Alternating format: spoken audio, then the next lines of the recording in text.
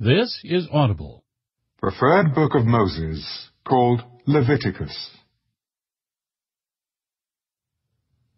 Now the Lord called to Moses and spoke to him from the tabernacle of meeting. Speak to the children of Israel, and say to them, When any one of you brings an offering to the Lord, you shall bring your offering of the livestock, of the herd, and of the flock.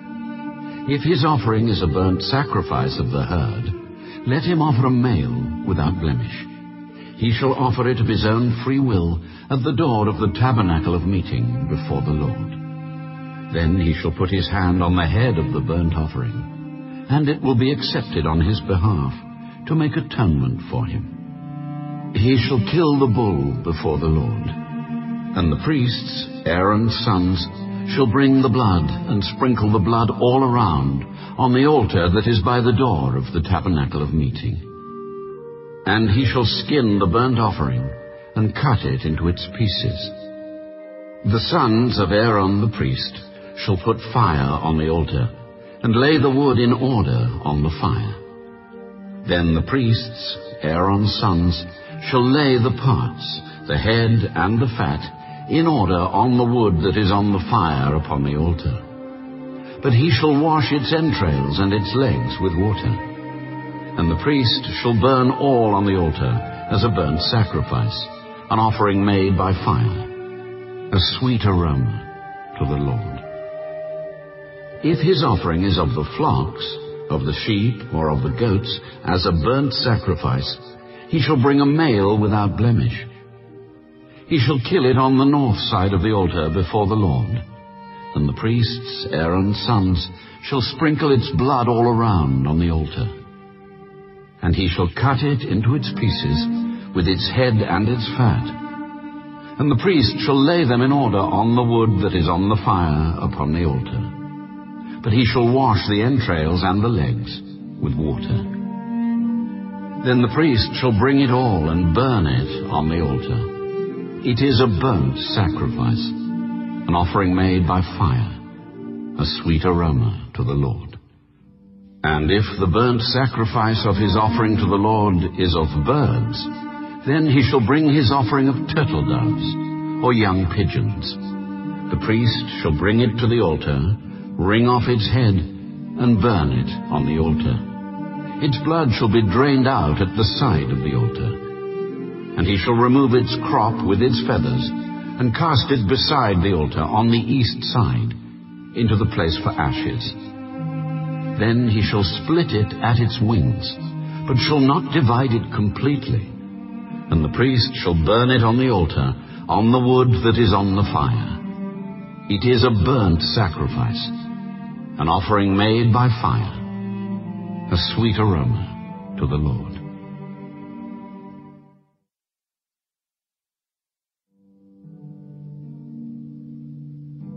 When anyone offers a grain offering to the Lord, his offering shall be of fine flour, and he shall pour oil on it, and put frankincense on it. He shall bring it to Aaron's sons, the priests, one of whom shall take from it his handful of fine flour and oil, with all the frankincense. And the priest shall burn it as a memorial on the altar, an offering made by fire, a sweet aroma to the Lord.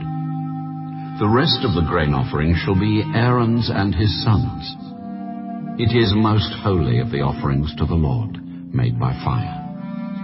And if you bring as an offering a grain offering baked in the oven, it shall be unleavened cakes of fine flour mixed with oil, or unleavened wafers anointed with oil. But if your offering is a grain offering baked in a pan, it shall be of fine flour, unleavened, mixed with oil. You shall break it in pieces and pour oil on it. It is a grain offering. If your offering is a grain offering baked in a covered pan, it shall be made of fine flour with oil. You shall bring the grain offering that is made of these things to the Lord. And when it is presented to the priest, he shall bring it to the altar. Then the priest shall take from the grain offering a memorial portion and burn it on the altar. It is an offering made by fire, a sweet aroma to the Lord. And what is left of the grain offering shall be Aaron's and his sons. It is most holy of the offerings to the Lord made by fire. No grain offering which you bring to the Lord shall be made with leaven, for you shall burn no leaven nor any honey in any offering to the Lord made by fire. As for the offering of the first fruits, you shall offer them to the Lord, but they shall not be burned on the altar for a sweet aroma. And every offering of your grain offering you shall season with salt. You shall not allow the salt of the covenant of your God to be lacking from your grain offering. With all your offerings you shall offer salt. If you offer a grain offering of your first fruits to the Lord, you shall offer for the grain offering of your first fruits green heads of grain roasted on the fire, grain beaten from full heads and you shall put oil on it, and lay frankincense on it. It is a grain offering. Then the priest shall burn the memorial portion, part of its beaten grain, and part of its oil with all the frankincense, as an offering made by fire to the Lord.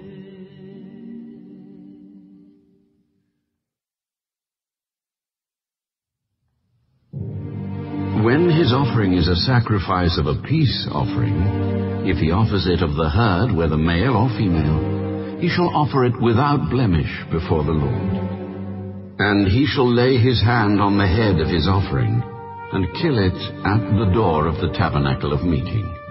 And Aaron's sons, the priests, shall sprinkle the blood all around on the altar. Then he shall offer from the sacrifice of the peace offering an offering made by fire to the Lord. The fat that covers the entrails, and all the fat that is on the entrails, the two kidneys, and the fat that is on them by the flanks, and the fatty lobe attached to the liver above the kidneys, he shall remove.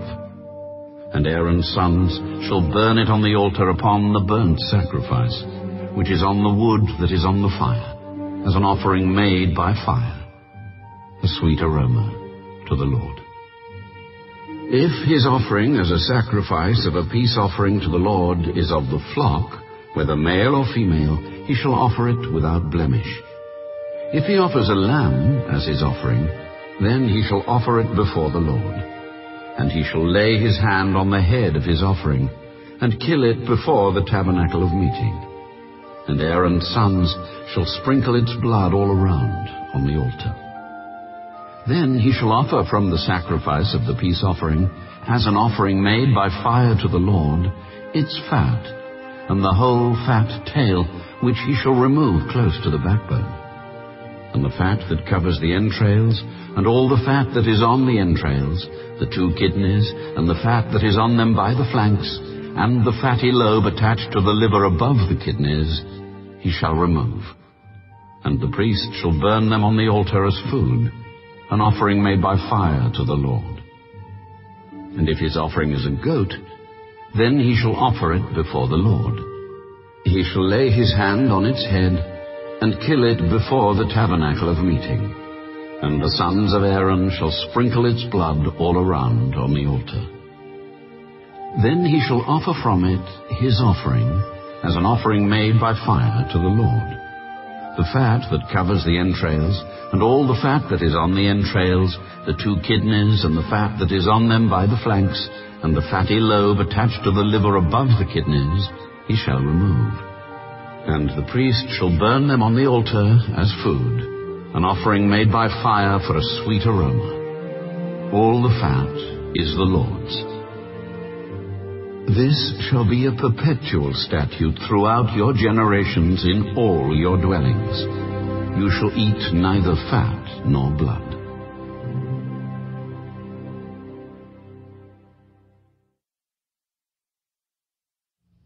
Now the Lord spoke to Moses, saying, Speak to the children of Israel, saying, If a person sins unintentionally against any of the commandments of the Lord in anything which ought not to be done, and does any of them, if the anointed priest sins, bringing guilt on the people, then let him offer to the Lord for his sin which he has sinned a young bull without blemish as a sin offering.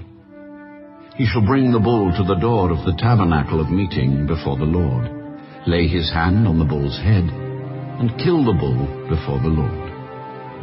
Then the anointed priest shall take some of the bull's blood and bring it to the tabernacle of meeting. The priest shall dip his finger in the blood and sprinkle some of the blood seven times before the Lord in front of the veil of the sanctuary.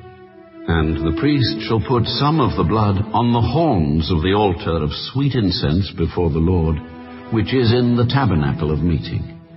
And he shall pour the remaining blood of the bull at the base of the altar of the burnt offering, which is at the door of the tabernacle of meeting.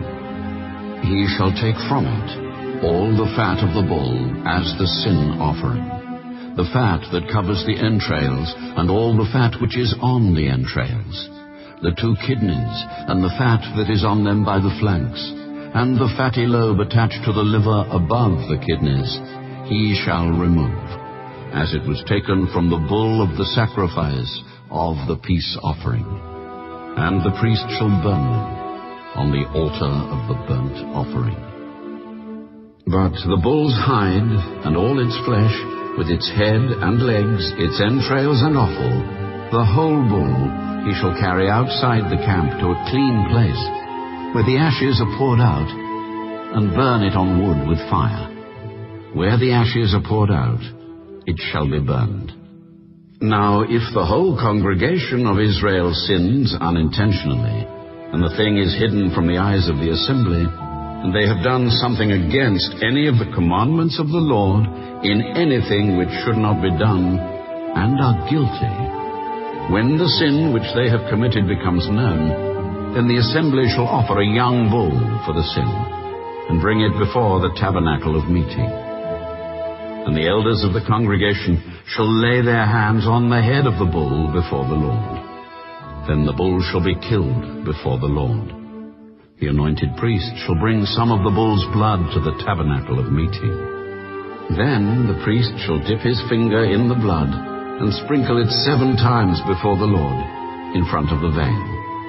And he shall put some of the blood on the horns of the altar which is before the Lord, which is in the tabernacle of meeting and he shall pour the remaining blood at the base of the altar of burnt offering, which is at the door of the tabernacle of meeting. He shall take all the fat from it, and burn it on the altar. And he shall do with the bull as he did with the bull as a sin offering. Thus he shall do with it. So the priest shall make atonement for them, and it shall be forgiven them. Then he shall carry the bull outside the camp and burn it, as he burned the first bull. It is a sin offering for the assembly. When a ruler has sinned and done something unintentionally against any of the commandments of the Lord his God in anything which should not be done and is guilty, or if his sin which he has committed comes to his knowledge, he shall bring as his offering a kid of the goats a male without blemish. And he shall lay his hand on the head of the goat, and kill it at the place where they kill the burnt offering before the Lord. It is a sin offering. The priest shall take some of the blood of the sin offering with his finger, put it on the horns of the altar of burnt offering, and pour its blood at the base of the altar of burnt offering. And he shall burn all its fat on the altar, like the fat of the sacrifice of the peace offering. So the priest shall make atonement for him concerning his sin, and it shall be forgiven him. If any one of the common people sins unintentionally by doing something against any of the commandments of the Lord in anything which ought not to be done, and is guilty, or if his sin which he has committed comes to his knowledge, then he shall bring as his offering a kid of the goats, a female, without blemish, for his sin which he has committed. And he shall lay his hand on the head of the sin offering, and kill the sin offering at the place of the burnt offering. Then the priest shall take some of its blood with his finger, put it on the horns of the altar of burnt offering, and pour all the remaining blood at the base of the altar. He shall remove all its fat, as fat is removed from the sacrifice of the peace offering. And the priest shall burn it on the altar for a sweet aroma to the Lord. So the priest shall make atonement for him, and it shall be forgiven him. If he brings a lamb as his sin offering, he shall bring a female without blemish. Then he shall lay his hand on the head of the sin offering, and kill it as a sin offering at the place where they kill the burnt offering. The priest shall take some of the blood of the sin offering with his finger, put it on the horns of the altar of burnt offering, and pour all the remaining blood at the base of the altar. He shall remove all its fat, as the fat of the lamb is removed from the sacrifice of the peace offering. Then the priest shall burn it on the altar, according to the offerings made by fire to the Lord. So the priest shall make atonement for his sin that he has committed, and it shall be forgiven him.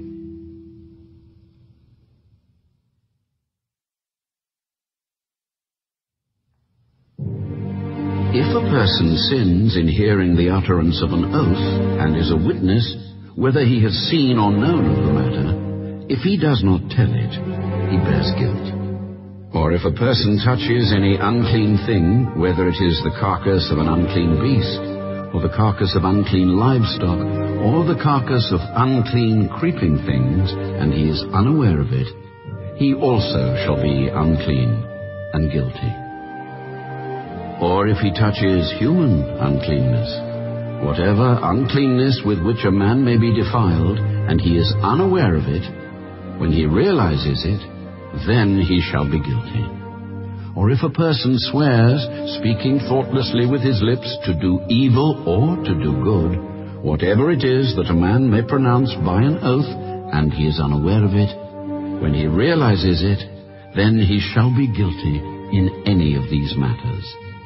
And it shall be, when he is guilty in any of these matters, that he shall confess that he has sinned in that thing. And he shall bring his trespass offering to the Lord for his sin which he has committed, a female from the flock, a lamb, or a kid of the goats, as a sin offering. So the priest shall make atonement for him concerning his sin. If he is not able to bring a lamb, then he shall bring to the Lord for his trespass which he has committed two turtle doves or two young pigeons, one as a sin offering and the other as a burnt offering. And he shall bring them to the priest, who shall offer that which is for the sin offering first, and wring off its head from its neck, but shall not divide it completely. Then he shall sprinkle some of the blood of the sin offering on the side of the altar and the rest of the blood shall be drained out at the base of the altar. It is a sin offering. And he shall offer the second as a burnt offering, according to the prescribed manner. So the priest shall make atonement on his behalf for his sin which he has committed, and it shall be forgiven him. But if he is not able to bring two turtle doves or two young pigeons, then he who sinned shall bring for his offering one-tenth of an ephah of fine flour as a sin offering. He shall put no oil on it, nor shall he put frankincense on it, for it is a sin offering. Then he shall bring it to the priest, and the priest shall take his handful of it as a memorial portion, and burn it on the altar according to the offerings made by fire to the Lord. It is a sin offering. The priest shall make atonement for him for his sin that he has committed in any of these matters, and it shall be forgiven him. The rest shall be the priest's as a grain offering. Then the Lord spoke to Moses. If a person commits a trespass and sins unintentionally in regard to the holy things of the Lord, then he shall bring to the Lord as his trespass offering a ram without blemish from the flocks with your valuation in shekels of silver, according to the shekel of the sanctuary, as a trespass offering. And he shall make restitution for the harm that he has done in regard to the holy thing, and shall add one-fifth to it, and give it to the priest. So the priest shall make atonement for him with the ram of the trespass offering, and it shall be forgiven him. If a person sins and commits any of these things which are forbidden to be done by the commandments of the Lord, though he does not know it, yet he is guilty, and shall bear his iniquity. And he shall bring to the priest a ram without blemish from the flock, with your valuation, as a trespass offering. So the priest shall make atonement for him regarding his ignorance in which he erred, and did not know it, and it shall be forgiven him. It is a trespass offering. He has certainly trespassed against the Lord.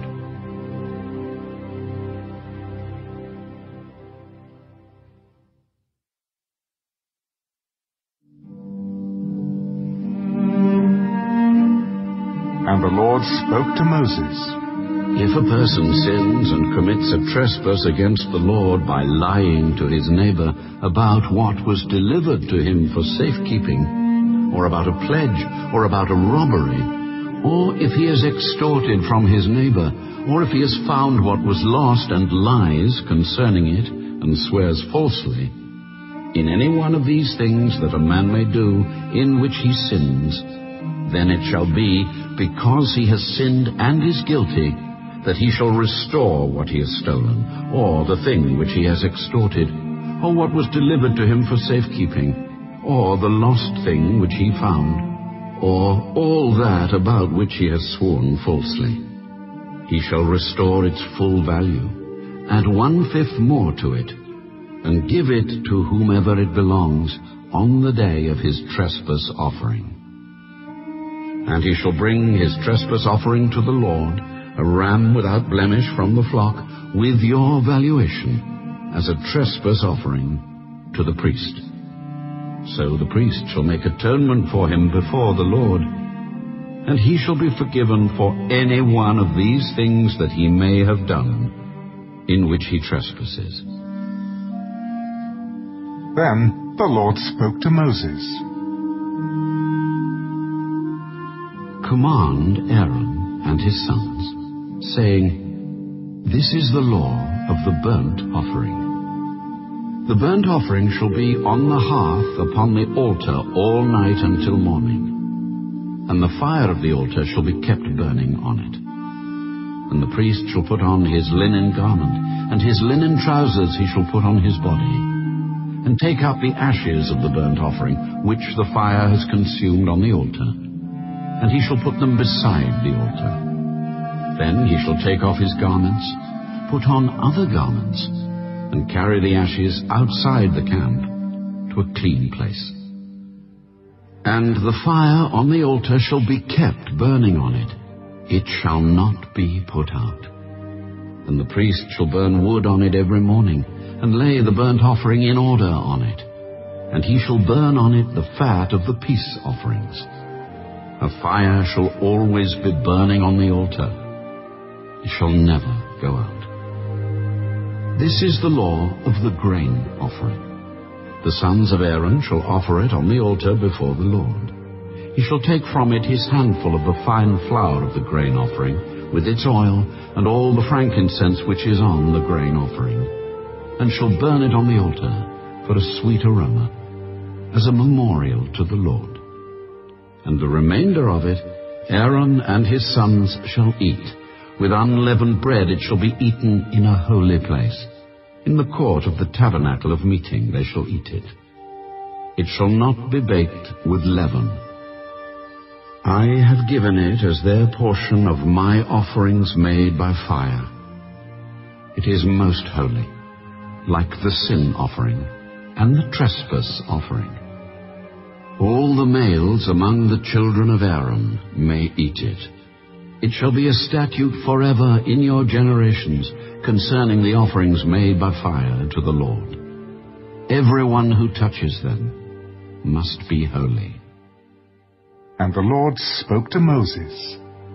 This is the offering of Aaron and his sons, which they shall offer to the Lord, beginning on the day when he is anointed one-tenth of an ephah of flour as a daily grain offering, half of it in the morning, and half of it at night.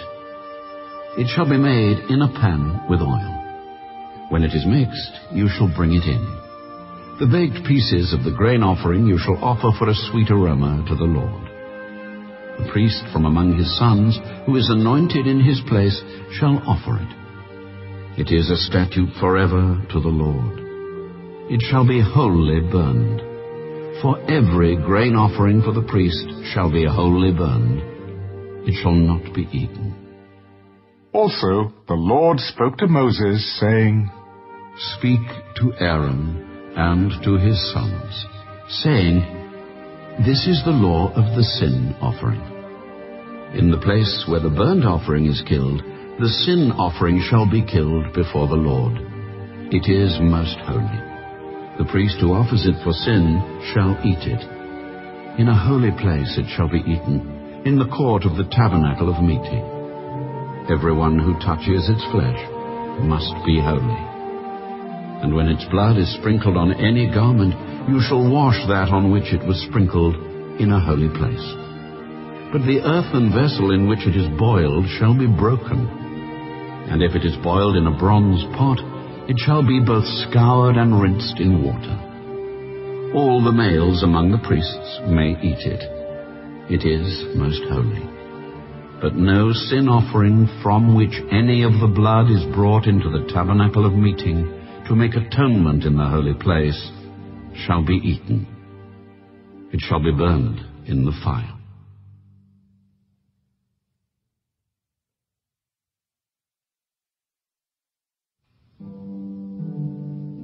Likewise, this is the law of the trespass offering. It is most holy. In the place where they kill the burnt offering, they shall kill the trespass offering and its blood he shall sprinkle all around on the altar. And he shall offer from it all its fat.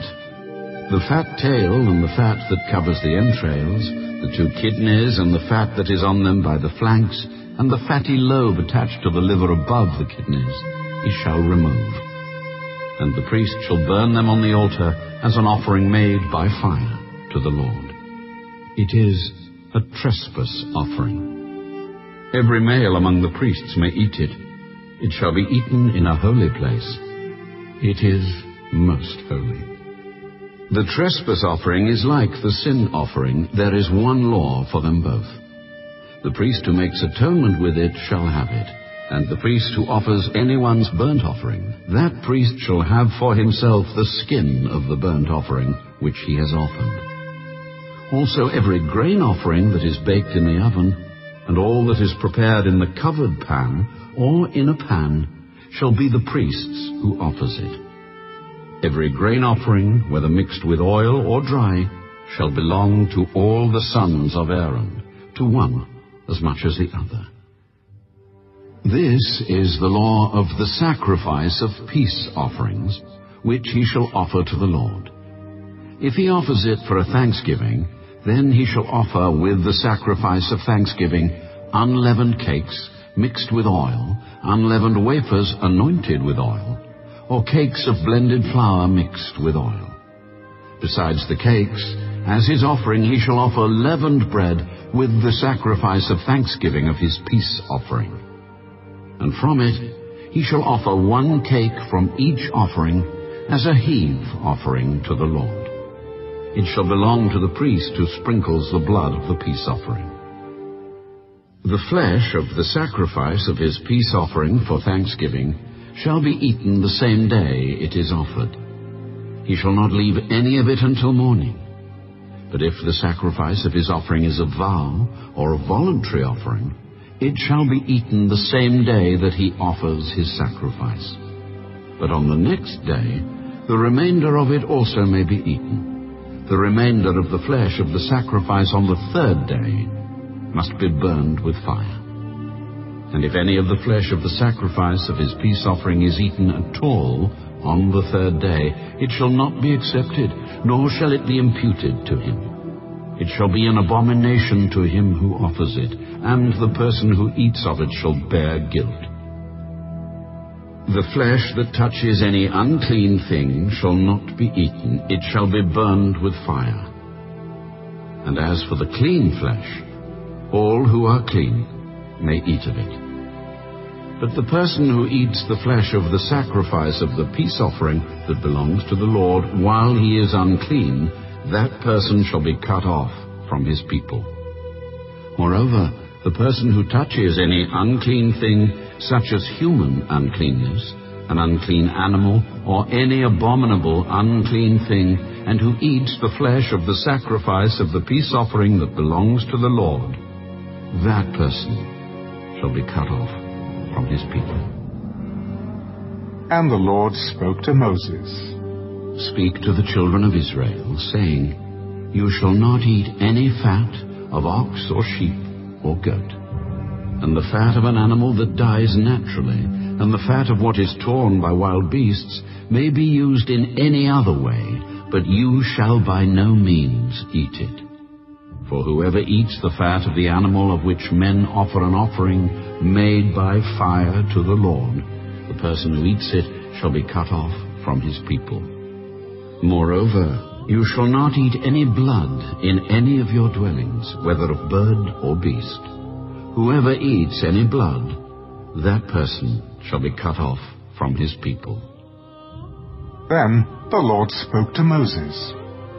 Speak to the children of Israel saying, He who offers the sacrifice of his peace offering to the Lord shall bring his offering to the Lord from the sacrifice of his peace offering. His own hands shall bring the offerings made by fire to the Lord. The fat with the breast he shall bring, that the breast may be waved as a wave offering before the Lord. And the priest shall burn the fat on the altar, but the breast shall be Aaron's and his sons'. Also the right thigh you shall give to the priest as a heave offering from the sacrifices of your peace offerings. He among the sons of Aaron who offers the blood of the peace offering and the fat shall have the right thigh for his part. For the breast of the wave offering and the thigh of the heave offering I have taken from the children of Israel, from the sacrifices of their peace offerings, and I have given them to Aaron the priest and to his sons from the children of Israel by a statute forever. This is the consecrated portion for Aaron and his sons, from the offerings made by fire to the Lord on the day when Moses presented them to minister to the Lord as priests. The Lord commanded this to be given to them by the children of Israel on the day that he anointed them, by a statute forever throughout their generations. This is the law of the burnt offering, the grain offering, the sin offering, the trespass offering, the consecrations, and the sacrifice of the peace offering, which the Lord commanded Moses on Mount Sinai, on the day when he commanded the children of Israel to offer their offerings to the Lord in the wilderness of Sinai.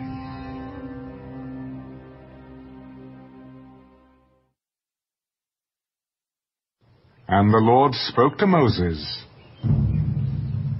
Take Aaron and his sons with him, and the garments, the anointing oil, a bull as the sin offering, two rams, and a basket of unleavened bread, and gather all the congregation together at the door of the tabernacle of meeting. So Moses did as the Lord commanded him and the congregation was gathered together at the door of the tabernacle of meeting. And Moses said to the congregation, This is what the Lord commanded to be done. Then Moses brought Aaron and his sons and washed them with water. And he put the tunic on him, girded him with the sash, clothed him with the robe, and he put the ephod on him and he girded him with the intricately woven band of the ephod, and with it tied the ephod on him.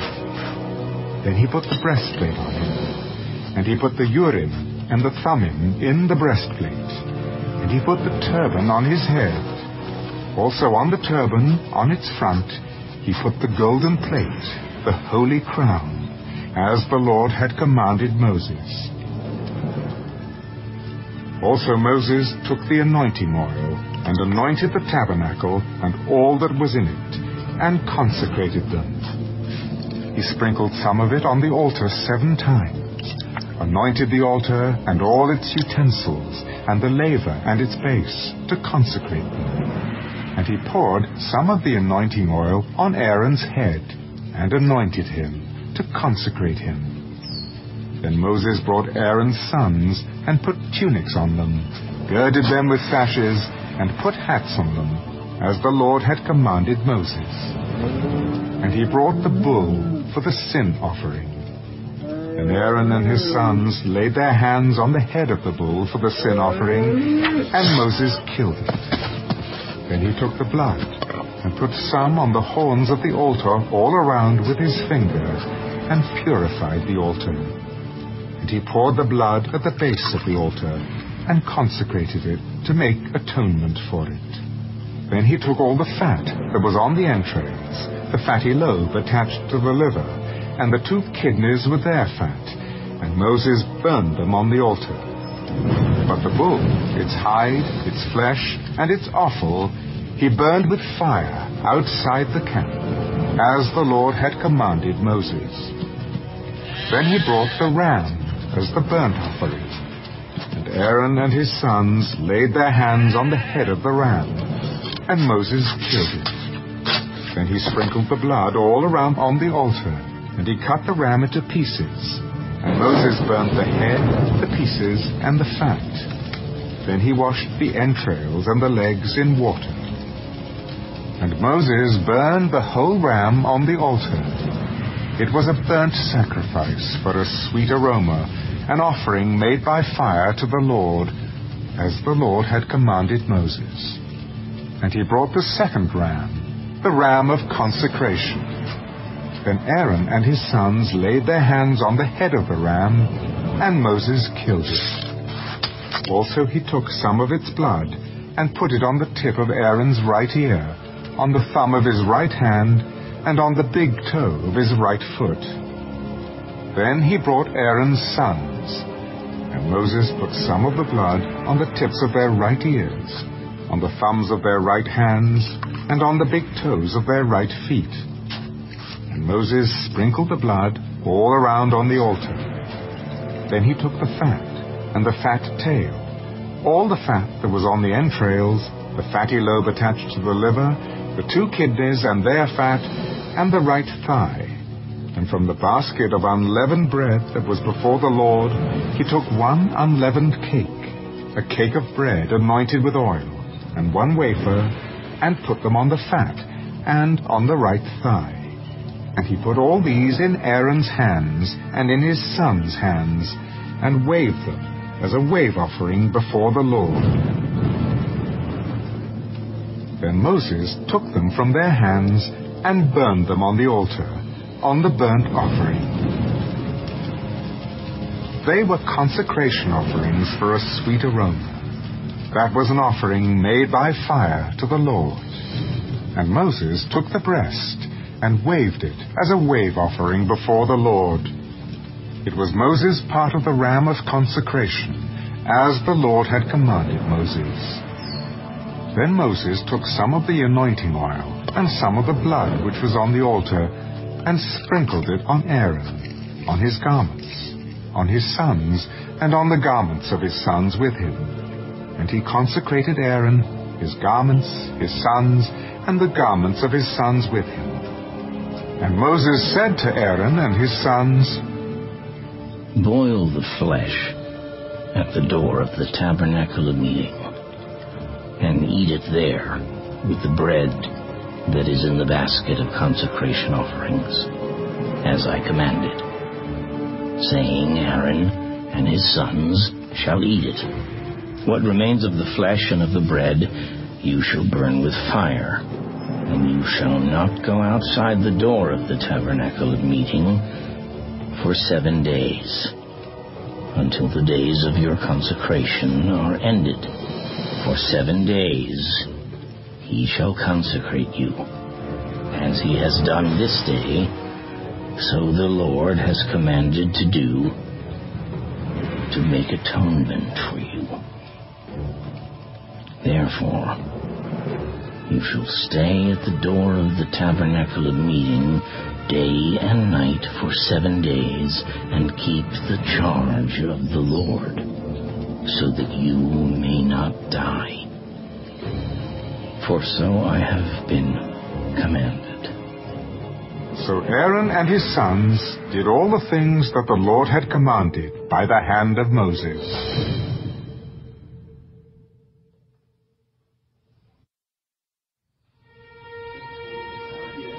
It came to pass on the eighth day that Moses called Aaron and his sons and the elders of Israel, and he said to Aaron, Take for yourself a young bull as a sin offering, and a ram as a burnt offering without blemish, and offer them before the Lord. And to the children of Israel you shall speak, saying, Take a kid of the goats as a sin offering, and a calf and a lamb, both of the first year, without blemish, as a burnt offering, also a bull and a ram as peace offerings, to sacrifice before the Lord, and a grain offering mixed with oil. For today the Lord will appear to you. So they brought what Moses commanded before the tabernacle of meeting. And all the congregation drew near and stood before the Lord. Then Moses said, This is the thing which the Lord commanded you to do. And the glory of the Lord will appear to you. Moses said to Aaron, Go to the altar. Offer your sin offering and your burnt offering and make atonement for yourself and for the people. Offer the offering of the people and make atonement for them, as the Lord commanded. Aaron therefore went to the altar and killed the calf of the sin offering, which was for himself. And the sons of Aaron brought the blood to him, and he dipped his finger in the blood, put it on the horns of the altar, and poured the blood at the base of the altar. But the fat, the kidneys, and the fatty lobe from the liver of the sin offering he burned on the altar, as the Lord had commanded Moses. The flesh and the hide he burned with fire outside the camp, and he killed the burnt offering. And Aaron's sons presented to him the blood, which he sprinkled all around on the altar. Then they presented the burnt offering to him with its pieces and head, and he burned them on the altar. He washed the entrails and the legs, and burned them with the burnt offering on the altar. Then he brought the people's offering, and took the goat, which was the sin offering for the people, and killed it, and offered it for sin, like the first one. And he brought the burnt offering, and offered it, according to the prescribed manner.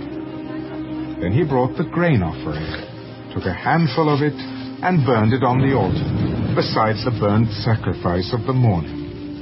He also killed the bull and the ram as sacrifices of peace offerings, which were for the people. And Aaron's sons presented to him the blood, which he sprinkled all around on the altar, and the fat from the bull and the ram, the fatty tail, what covers the entrails and the kidneys, and the fatty lobe attached to the liver, and they put the fat on the breasts. Then he burned the fat on the altar, but the breasts and the right thigh Aaron waved as a wave offering before the Lord, as Moses had commanded. Then Aaron lifted his hand toward the people, blessed them, and came down from offering the sin offering, the burnt offering, and peace offerings. And Moses and Aaron went into the tabernacle of meeting and came out and blessed the people. Then the glory of the Lord appeared to all the people, and fire came out from before the Lord and consumed the burnt offering and the fat on the altar. And all the people saw it, they shouted and fell on their faces.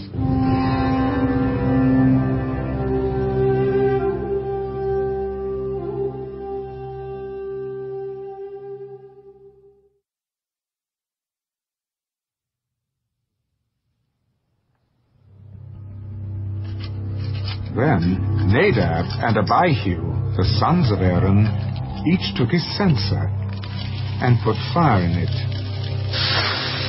put incense on it, and offered profane fire before the Lord, which he had not commanded them.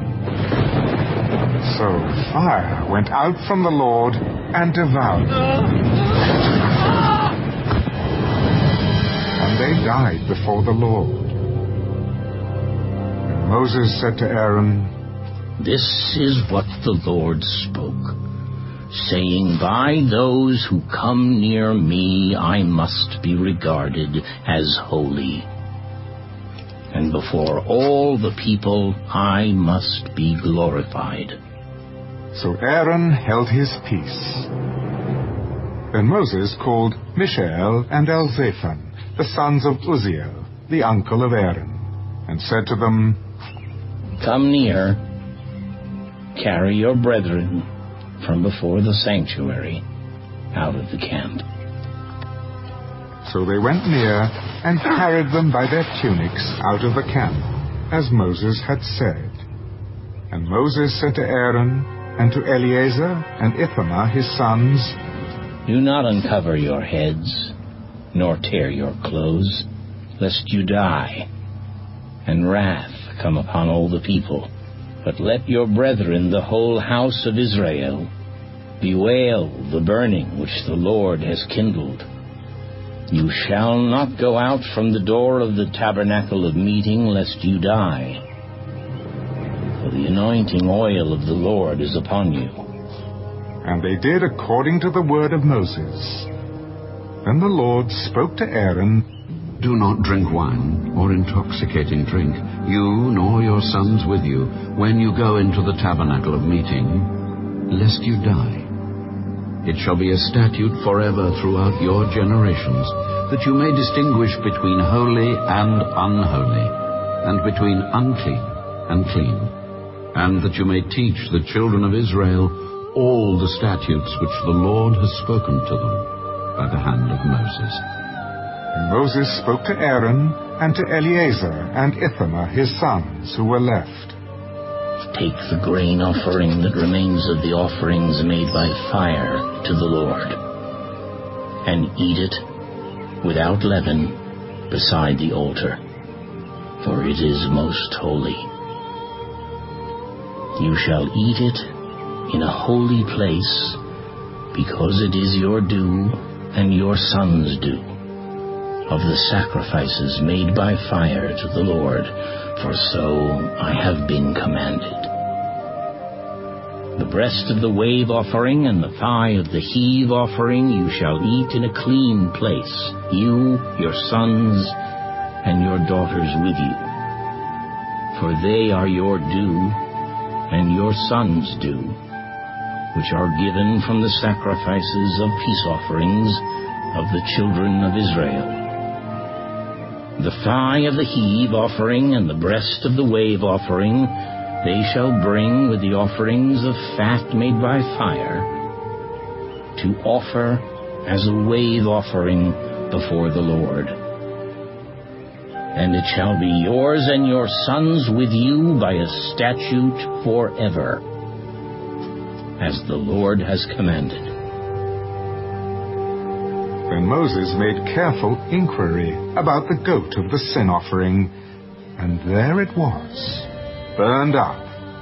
And he was angry with Eleazar and Ithamar, the sons of Aaron, who were left. Why have you not eaten the sin offering in a holy place, since it is most holy, and God has given it to you to bear the guilt of the congregation, to make atonement for them before the Lord? See, its blood was not brought inside the holy place. Indeed, you should have eaten it in a holy place, as I commanded. And Aaron said to Moses, Look, this day they have offered their sin offering and their burnt offering before the Lord.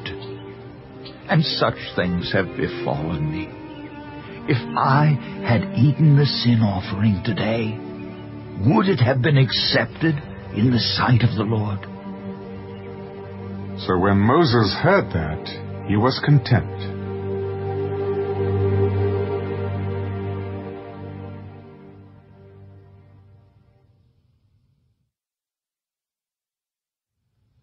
Now the Lord spoke to Moses and Aaron, Speak to the children of Israel, saying, These are the animals which you may eat among all the animals that are on the earth. Among the animals, whatever divides the hoof, having cloven hooves and chewing the cud, that you may eat. Nevertheless, these you shall not eat among those that chew the cud, or those that have cloven hooves. The camel because it chews the cud but does not have cloven hooves, is unclean to you. The rock hyrax, because it chews the cud but does not have cloven hooves, is unclean to you. The hare, because it chews the cud but does not have cloven hooves, is unclean to you. And the swine, though it divides the hoof, having cloven hooves, yet does not chew the cud, is unclean to you. Their flesh you shall not eat, and their carcasses you shall not touch. They are unclean to you. These you may eat of all that are in the water. Whatever in the water has fins and scales, whether in the seas or in the rivers, that you may eat. But all in the seas or in the rivers that do not have fins and scales, all that move in the water, or any living thing which is in the water, they are an abomination to you. They shall be an abomination to you. You shall not eat their flesh, but you shall regard their carcasses as an abomination. Whatever in the water does not have fins or scales, that shall be an abomination to you. And these you shall regard as an abomination among the birds. They shall not be eaten. They are an abomination the eagle, the vulture, the buzzard, the kite, and the falcon after its kind, every raven after its kind, the ostrich, the short-eared owl, the seagull, and the hawk after its kind, the little owl, the fisher owl, and the screech owl, the white owl, the jackdaw, and the carrion vulture, the stork, the heron after its kind, the hoopoe, and the bat. All flying insects that creep on all fours shall be an abomination to you. Yet these you may eat of every flying insect that creeps on all fours. Those which have jointed legs above their feet with which to leap on the earth, these you may eat. The locust after its kind, the destroying locust after its kind, the cricket after its kind, and the grasshopper after its kind. But all other flying insects which have four feet shall be an abomination to you. By these you shall become unclean. Whoever touches the carcass of any of them shall be unclean until evening. Whoever carries part of the carcass of any of them shall wash his clothes and be unclean until evening. The carcass of any animal which divides the foot but is not cloven hoofed or does not chew the cud is unclean to you. Everyone who touches it shall be unclean. And whatever goes on its paws among all kinds of animals that go on all fours, those are unclean to you. Whoever touches any such carcass shall be unclean until evening. Whoever carries any such carcass shall wash his clothes and be unclean until evening. It is unclean to you. These also shall be unclean to you among the creeping things that creep on the earth the mole, the mouse, and the large lizard after its kind, the gecko, the monitor lizard, the sand reptile, the sand lizard, and the chameleon. These are unclean to you among all that creep. Whoever touches them when they are dead shall be unclean until evening.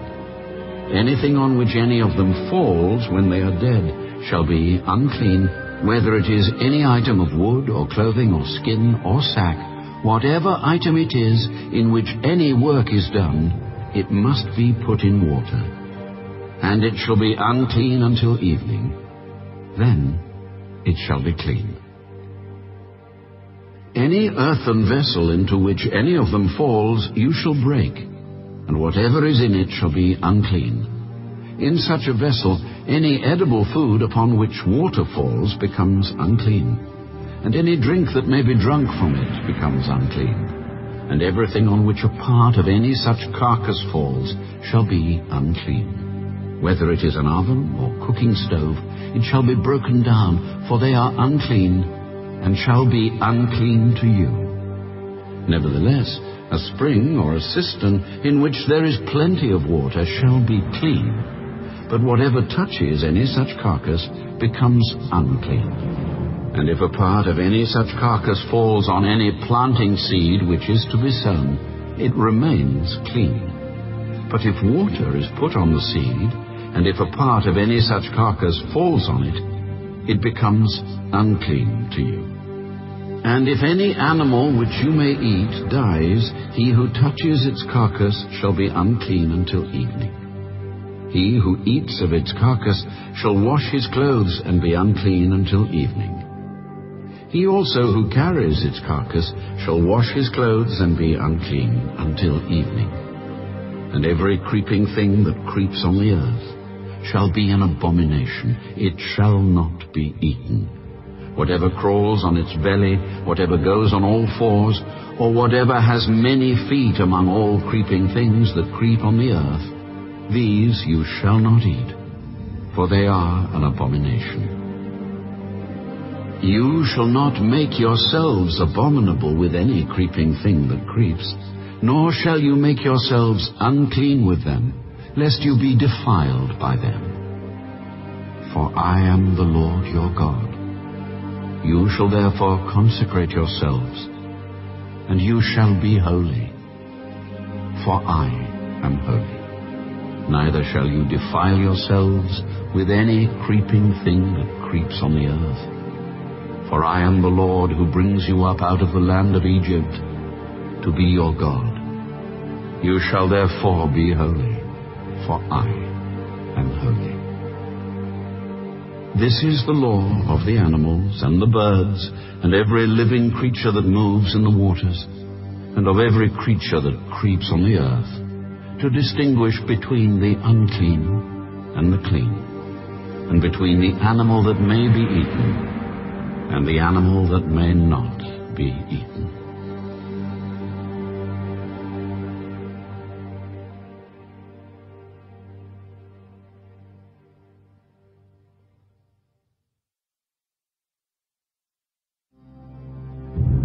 Then the Lord spoke to Moses. Speak to the children of Israel, saying, If a woman has conceived and borne a male child, then she shall be unclean seven days. As in the days of her customary impurity, she shall be unclean. And on the eighth day, the flesh of his foreskin shall be circumcised. She shall then continue in the blood of her purification thirty-three days. She shall not touch any hallowed thing, nor come into the sanctuary until the days of her purification are fulfilled. But if she bears a female child, then she shall be unclean two weeks, as in her customary impurity, and she shall continue in the blood of her purification sixty-six days. When the days of her purification are fulfilled, whether for a son or a daughter, she shall bring to the priest a lamb of the first year, as a burnt offering, and a young pigeon or a turtle dove as a sin offering to the door of the tabernacle of meeting. Then he shall offer it before the Lord and make atonement for her, and she shall be clean from the flow of her blood. This is the law for her who was borne a male or a female. And if she is not able to bring a lamb, then she may bring two turtle doves or two young pigeons, one as a burnt offering and the other as a sin offering. So the priest shall make atonement for her, and she will be clean.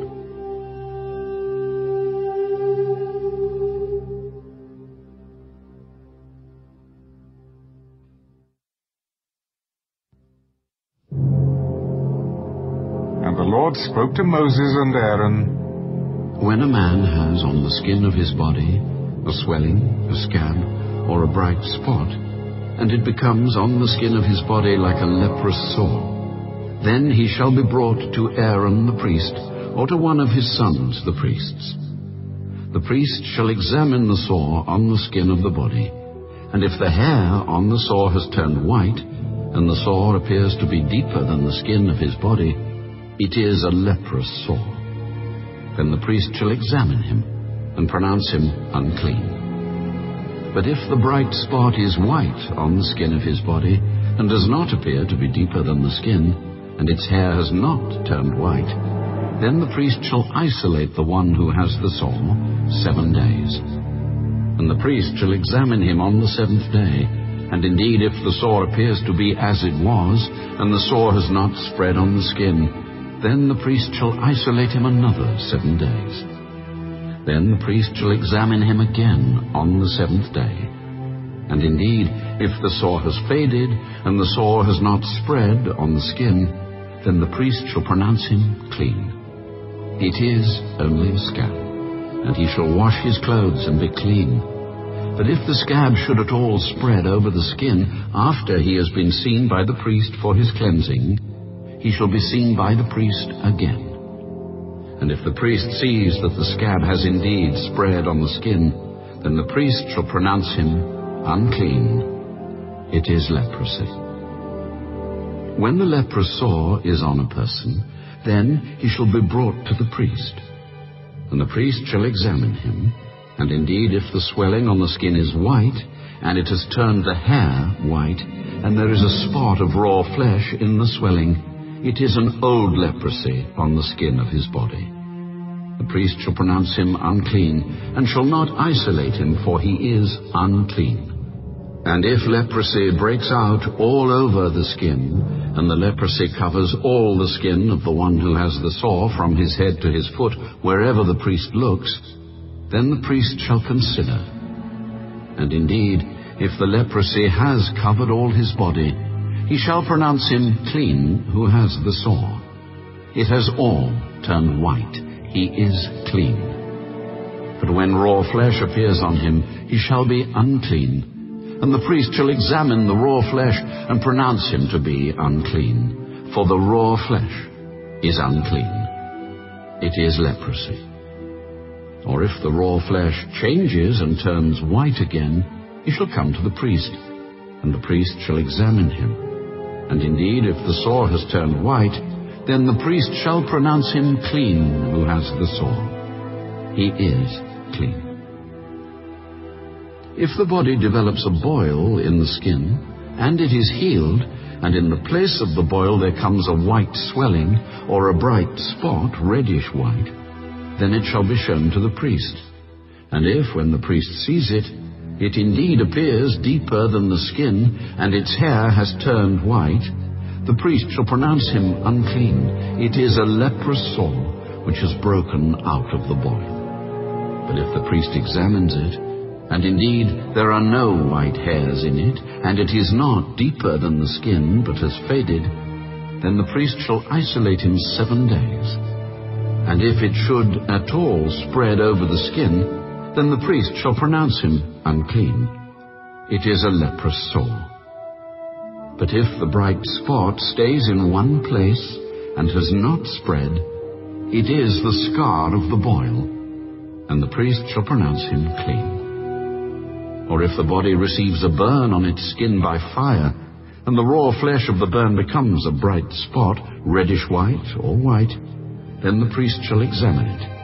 And indeed, if the hair of the bright spot has turned white, and it appears deeper than the skin, it is leprosy broken out in the burn. Therefore the priest shall pronounce him unclean.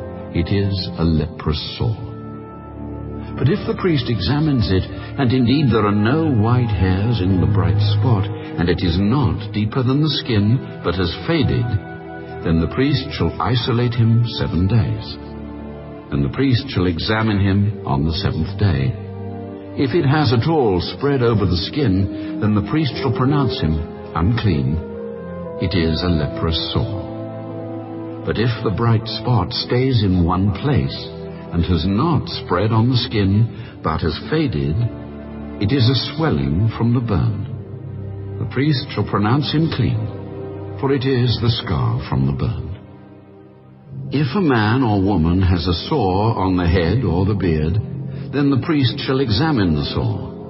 And indeed, if it appears deeper than the skin, and there is in it thin yellow hair, then the priest shall pronounce him unclean. It is a scaly leprosy of the head or beard. But if the priest examines the scaly sore, and indeed it does not appear deeper than the skin, and there is no black hair in it, then the priest shall isolate the one who has the scale seven days.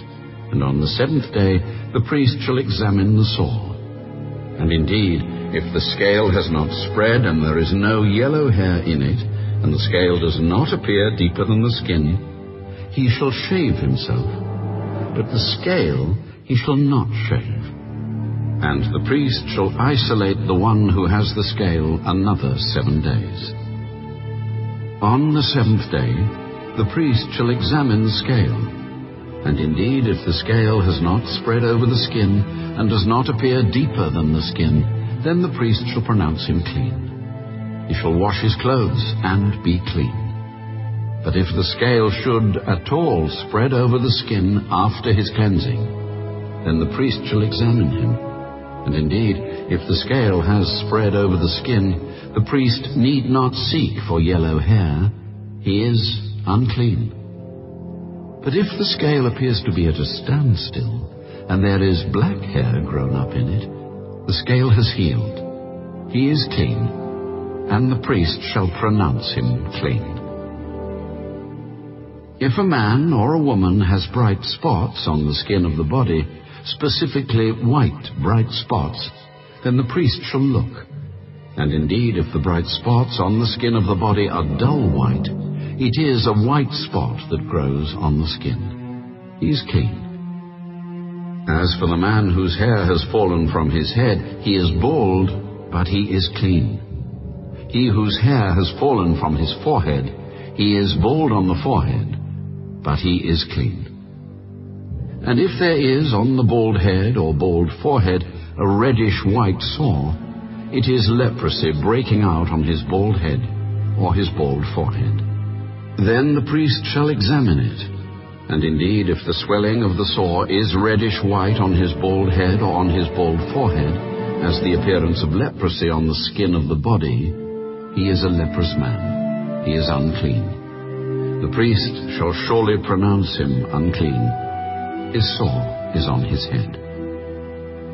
Now the leper on whom the sore is, his clothes shall be torn, and his head bare. And he shall cover his mustache, and cry, Unclean, unclean.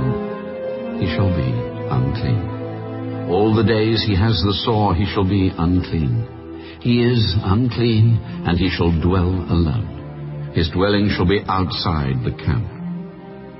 Also, if a garment has a leprous plague in it, whether it is a woolen garment or a linen garment, whether it is in the warp or woof of linen or wool, whether in leather or in anything made of leather, and if the plague is greenish or reddish in the garment or in the leather, whether in the warp or in the woof, or in anything made of leather, it is a leprous plague, and shall be shown to the priest. The priest shall examine the plague, and isolate that which has the plague seven days and he shall examine the plague on the seventh day. If the plague has spread in the garment, either in the warp or in the woof, in the leather or in anything made of leather, the plague is an active leprosy. It is unclean. He shall therefore burn that garment in which is the plague, whether warp or woof, in wool or in linen, or anything of leather, for it is an active leprosy the garment shall be burned in the fire. But if the priest examines it, and indeed the plague has not spread in the garment, either in the warp or in the woof or in anything made of leather, then the priest shall command that they wash the thing in which is the plague, and he shall isolate it another seven days. Then the priest shall examine the plague after it has been washed, and indeed if the plague has not changed its color, though the plague has not spread, it is unclean, and you shall burn it in the fire. It continues eating away, whether the damage is outside or inside. If the priest examines it, and indeed the plague has faded after washing it, then he shall tear it out of the garment, whether out of the warp or out of the woof or out of the leather. But if it appears again in the garment, either in the warp or in the woof or in anything made of leather, it is a spreading plague. You shall burn with fire that in which is the plague. And if you wash the garment, either warp or woof or whatever is made of leather, if the plague has disappeared from it, then it shall be washed a second time, and shall be clean. This is the law of the leprous plague in a garment of wool or linen, either in the warp or woof, or in anything made of leather, to pronounce it clean, or to pronounce it unclean.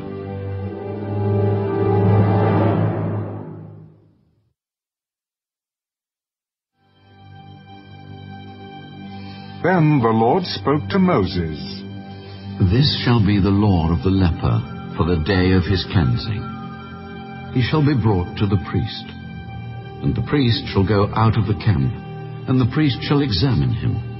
And indeed, if the leprosy is healed in the leper, then the priest shall command to take for him who is to be cleansed two living and clean birds, cedar wood, scarlet, and hyssop and the priest shall command that one of the birds be killed in an earthen vessel over running water. As for the living bird, he shall take it, the cedar wood, and the scarlet, and the hyssop, and dip them and the living bird in the blood of the bird that was killed over the running water. And he shall sprinkle it seven times on him who is to be cleansed from the leprosy, and shall pronounce him clean, and shall let the living bird loose in the open field. He who is to be cleansed shall wash his clothes, shave off all his hair, and wash himself in water that he may be clean. After that he shall come into the camp, and shall stay outside his tent seven days. But on the seventh day he shall shave all the hair off his head, and his beard, and his eyebrows. All his hair he shall shave off. He shall wash his clothes, and wash his body in water, and he shall be clean.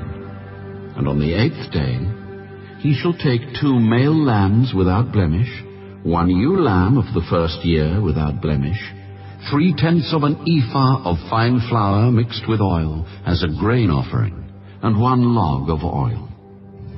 Then the priest who makes him clean shall present the man who is to be made clean and those things before the Lord at the door of the tabernacle of meeting. And the priest shall take one male lamb, and offer it as a trespass offering, and the log of oil, and wave them as a wave offering before the Lord. Then he shall kill the lamb in the place where he kills the sin offering and the burnt offering, in a holy place. For as the sin offering is the priest's, so is the trespass offering. It is most holy. The priest shall take some of the blood of the trespass offering, and the priest shall put it on the tip of the right ear of him who is to be cleansed, on the thumb of his right hand, and on the big toe of his right foot. And the priest shall take some of the log of oil, and pour it into the palm of his own left hand. Then the priest shall dip his right finger in the oil that is in his left hand, and shall sprinkle some of the oil with his finger seven times before the Lord. And of the rest of the oil in his hand, the priest shall put some on the tip of the right ear of him who is to be cleansed, on the thumb of his right hand, and on the big toe of his right foot, on the blood of the trespass offering. The rest of the oil that is in the priest's hand he shall put on the head of him who is to be cleansed. So the priest shall make atonement for him before the Lord. Then the priest shall offer the sin offering, and make atonement for him who is to be cleansed from his uncleanness. Afterward he shall kill the burnt offering, and the priest shall offer the burnt offering and the grain offering on the altar. So the priest shall make atonement for him, and he shall be clean. But if he is poor and cannot afford it, then he shall take one male lamb as a trespass offering to be waved, to make atonement for him, one-tenth of an ephah of fine flour mixed with oil as a grain offering, a log of oil, and two turtle doves or two young pigeons, such as he is able to afford. One shall be a sin offering, and the other a burnt offering. He shall bring them to the priest on the eighth day for his cleansing, to the door of the tabernacle of meeting before the Lord. And the priest shall take the lamb of the trespass offering and the log of oil, and the priest shall wave them as a wave offering before the Lord.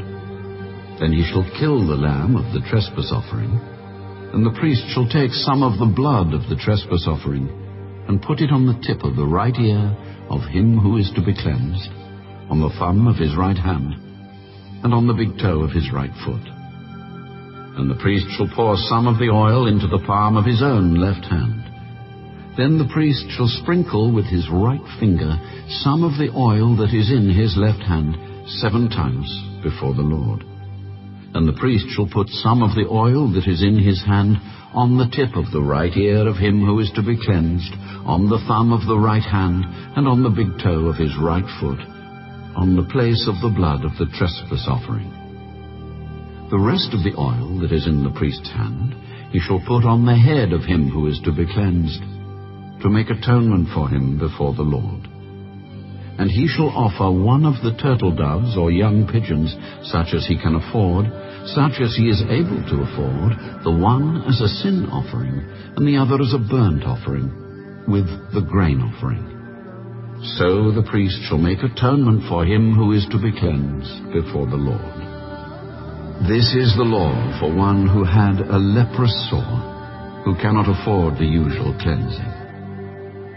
And the Lord spoke to Moses and Aaron, When you have come into the land of Canaan, which I give you as a possession, and I put the leprous plague in a house in the land of your possession, and he who owns the house comes and tells the priest, saying, It seems to me that there is some plague in the house, then the priest shall command that they empty the house before the priest goes into it to examine the plague, that all that is in the house may not be made unclean. And afterward the priest shall go in to examine the house. And he shall examine the plague. And indeed, if the plague is on the walls of the house with ingrained streaks, greenish or reddish, which appear to be deep in the wall, then the priest shall go out of the house to the door of the house and shut up the house seven days. And the priest shall come again on the seventh day and look. And indeed, if the plague has spread on the walls of the house, then the priest shall command that they take away the stones in which is the plague, and they shall cast them into an unclean place outside the city. And he shall cause the house to be scraped inside all around, and the dust that they scrape off they shall pour out in an unclean place outside the city. Then they shall take other stones, and put them in the place of those stones, and he shall take other mortar, and plaster the house. Now if the plague comes back and breaks out in the house, after he has taken away the stones, after he has scraped the house, and after it is plastered, then the priest shall come and look. And indeed, if the plague has spread in the house, it is an active leprosy in the house. It is unclean. And he shall break down the house, its stones, its timber, and all the plaster of the house. And he shall carry them outside the city to an unclean place. Moreover, he who goes into the house at all while it is shut up shall be unclean until evening. And he who lies down in the house shall wash his clothes, and he who eats in the house shall wash his clothes. But if the priest comes in and examines it, and indeed the plague has not spread in the house after the house was plastered, then the priest shall pronounce the house clean, because the plague is healed. And he shall take to cleanse the house two birds, cedar wood, scarlet, and hyssop.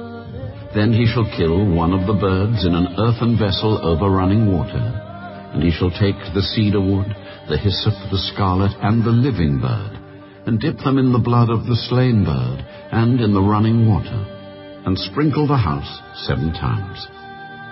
And he shall cleanse the house with the blood of the bird, and the running water, and the living bird, with the cedar wood, the hyssop, and the scarlet. Then he shall let the living bird loose outside the city in the open field, and make atonement for the house, and it shall be clean. This is the law for any leprous sore and scale, for the leprosy of a garment and of a house, for a swelling and a scab and a bright spot, to teach when it is unclean and when it is clean. This is the law of leprosy.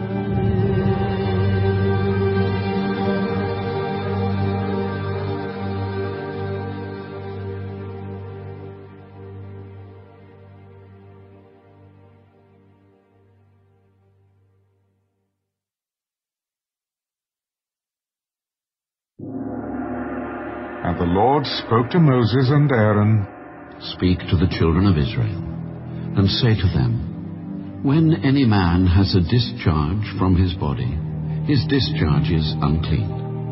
And this shall be his uncleanness in regard to his discharge, whether his body runs with his discharge, or his body is stopped up by his discharge, it is his uncleanness.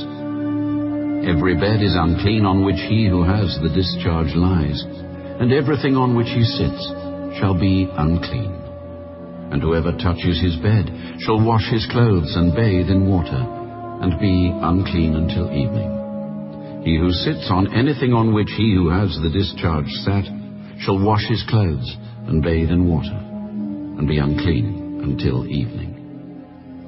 And he who touches the body of him who has the discharge shall wash his clothes and bathe in water and be unclean until evening. If he who has the discharge spits on him who is clean, then he shall wash his clothes and bathe in water and be unclean until evening.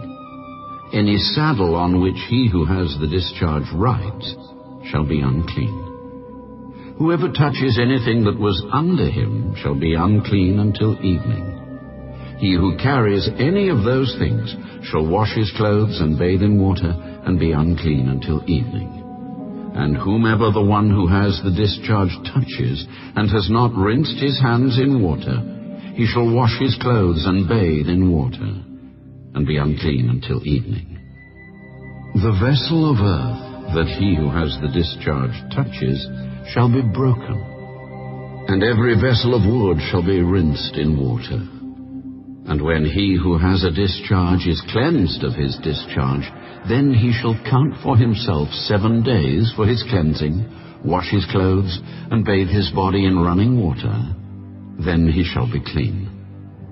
On the eighth day he shall take for himself two turtle doves or two young pigeons, and come before the Lord to the door of the tabernacle of meeting and give them to the priest.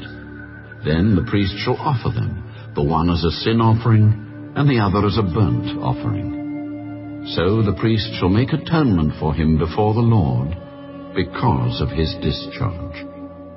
If any man has an emission of semen, then he shall wash all his body in water and be unclean until evening. And any garment and any leather on which there is semen, it shall be washed with water and be unclean until evening. Also, when a woman lies with a man, and there is an emission of semen, they shall bathe in water and be unclean until evening. If a woman has a discharge, and the discharge from her body is blood, she shall be set apart seven days, and whoever touches her shall be unclean until evening. Everything that she lies on during her impurity shall be unclean. Also everything that she sits on shall be unclean. Whoever touches her bed shall wash his clothes and bathe in water, and be unclean until evening. And whoever touches anything she sat on shall wash his clothes and bathe in water, and be unclean until evening. If anything is on her bed, or on anything on which she sits when he touches it, he shall be unclean until evening. And if any man lies with her at all, so that her impurity is on him, he shall be unclean seven days, and every bed on which he lies shall be unclean. If a woman has a discharge of blood for many days, other than at the time of her customary impurity, or if it runs beyond her usual time of impurity, all the days of her unclean discharge shall be as the days of her customary impurity. She shall be unclean. Every bed on which she lies all the days of her discharge shall be to her as the bed of her impurity. And whatever she sits on shall be unclean as the uncleanness of her impurity. Whoever touches those things shall be unclean he shall wash his clothes and bathe in water, and be unclean until evening. But if she is cleansed of her discharge, then she shall count for herself seven days, and after that she shall be clean. And on the eighth day she shall take for herself two turtle doves or two young pigeons, and bring them to the priest to the door of the tabernacle of meeting. Then the priest shall offer the one as a sin offering and the other as a burnt offering and the priest shall make atonement for her before the Lord for the discharge of her uncleanness. Thus you shall separate the children of Israel from their uncleanness, lest they die in their uncleanness when they defile my tabernacle that is among them. This is the law for one who has a discharge, and for him who emits semen and is unclean thereby, and for her who is indisposed because of her customary impurity, and for one who has a discharge, either man or woman, and for him who lies with her, who is unclean.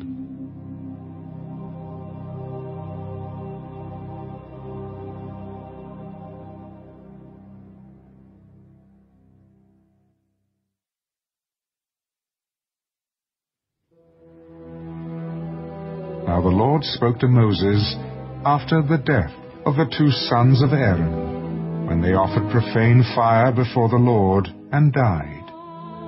Tell Aaron your brother not to come at just any time into the holy place inside the veil, before the mercy seat which is on the ark, lest he die. For I will appear in the cloud above the mercy seat. Thus Aaron shall come into the holy place with the blood of a young bull as a sin offering, and of a ram as a burnt offering. He shall put the holy linen tunic and the linen trousers on his body. He shall be girded with a linen sash, and with the linen turban he shall be attired. These are holy garments. Therefore he shall wash his body in water, and put them on. And he shall take from the congregation of the children of Israel two kids of the goats as a sin offering, and one ram as a burnt offering. Aaron shall offer the bull as a sin offering, which is for himself, and make atonement for himself and for his house. He shall take the two goats and present them before the Lord at the door of the tabernacle of meeting. Then Aaron shall cast lots for the two goats, one lot for the Lord, and the other lot for the scapegoat.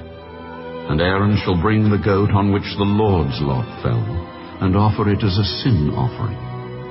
But the goat on which the lot fell to be the scapegoat shall be presented alive before the Lord, to make atonement upon it, and to let it go as the scapegoat into the wilderness. And Aaron shall bring the bull of the sin offering, which is for himself, and make atonement for himself and for his house, and shall kill the bull as the sin offering, which is for himself.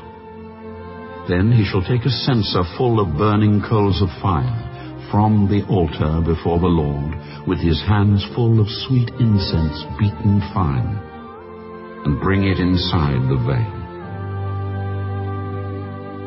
And he shall put the incense on the fire before the Lord, that the cloud of incense may cover the mercy seat that is on the testimony, lest he die.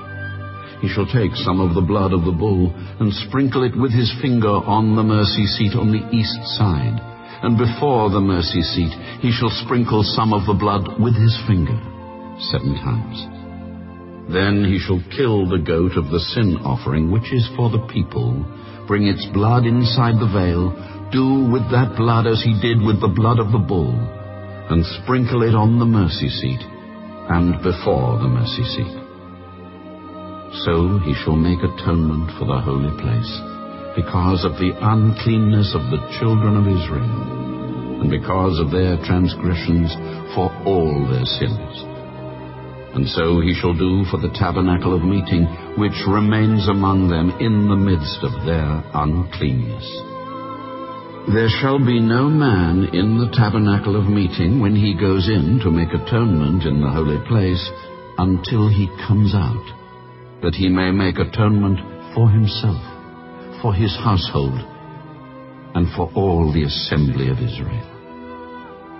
And he shall go out to the altar that is before the Lord, and make atonement for it, and shall take some of the blood of the bull and some of the blood of the goat, and put it on the horns of the altar all around.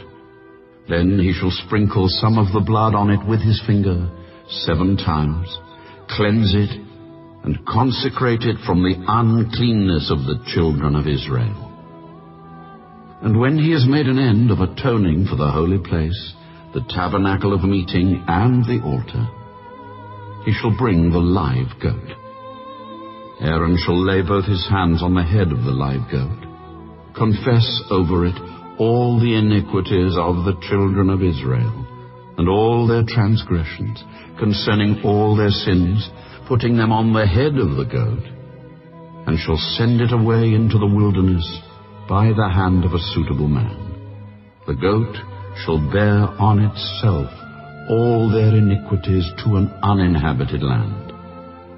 And he shall release the goat in the wilderness. Then Aaron shall come into the tabernacle of meeting, shall take off the linen garments which he put on when he went into the holy place, and shall leave them there. And he shall wash his body with water in a holy place, put on his garments, come out and offer his burnt offering and the burnt offering of the people, and make atonement for himself and for the people. The fat of the sin offering he shall burn on the altar. And he who released the goat as the scapegoat shall wash his clothes and bathe his body in water, and afterward he may come into the camp the bull for the sin offering, and the goat for the sin offering, whose blood was brought in to make atonement in the holy place, shall be carried outside the camp.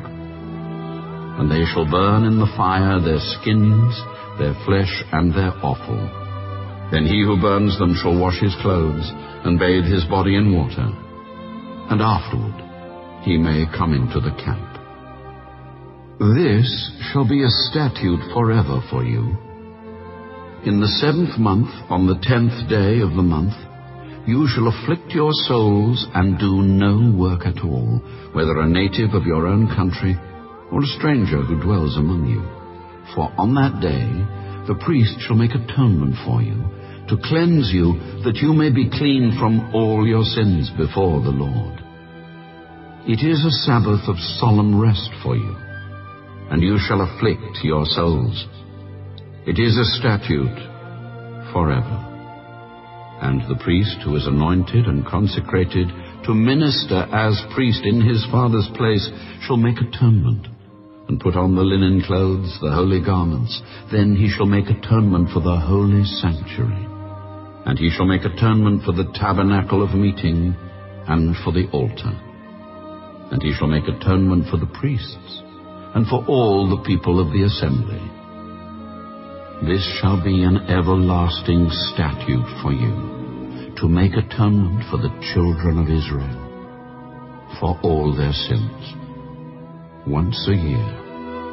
And he did as the Lord commanded Moses.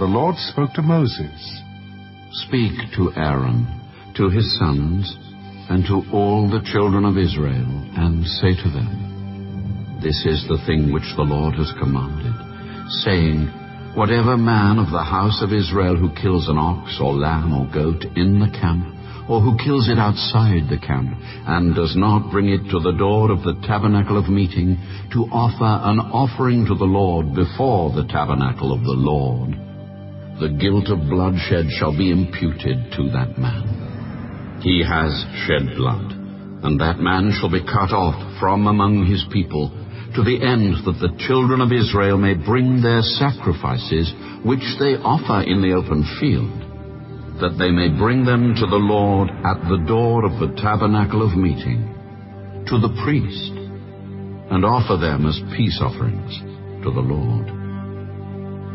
And the priest shall sprinkle the blood on the altar of the Lord at the door of the tabernacle of meeting, and burn the fat for a sweet aroma to the Lord. They shall no more offer their sacrifices to demons after whom they have played the harlot. This shall be a statute forever for them throughout their generations. Also you shall say to them, Whatever man of the house of Israel, or of the strangers who dwell among you, who offers a burnt offering or sacrifice, and does not bring it to the door of the tabernacle of meeting to offer it to the Lord, that man shall be cut off from among his people. And whatever man of the house of Israel, or of the strangers who dwell among you, who eats any blood, I will set my face against that person who eats blood, and will cut him off from among his people. For the life of the flesh is in the blood, and I have given it to you upon the altar to make atonement for your souls. For it is the blood that makes atonement for the soul. Therefore I said to the children of Israel, No one among you shall eat blood, nor shall any stranger who dwells among you eat blood. Whatever man of the children of Israel, or of the strangers who dwell among you, who hunts and catches any animal or bird that may be eaten, he shall pour out its blood and cover it with dust, for it is the life of all flesh. Its blood sustains its life. Therefore I said to the children of Israel, You shall not eat the blood of any flesh, for the life of all flesh is its blood. Whoever eats it shall be cut off. And every person who eats what died naturally, or what was torn by beasts, whether he is a native of your own country or a stranger, he shall both wash his clothes and bathe in water, and be unclean until evening. Then he shall be clean. But if he does not wash them or bathe his body, then he shall bear his guilt.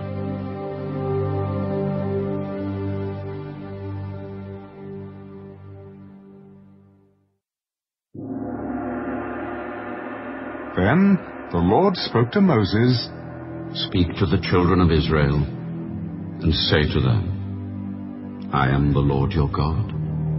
According to the doings of the land of Egypt, where you dwelt, you shall not do. And according to the doings of the land of Canaan, where I am bringing you, you shall not do. Nor shall you walk in their ordinances. You shall observe my judgments, and keep my ordinances to walk in them. I am the Lord your God.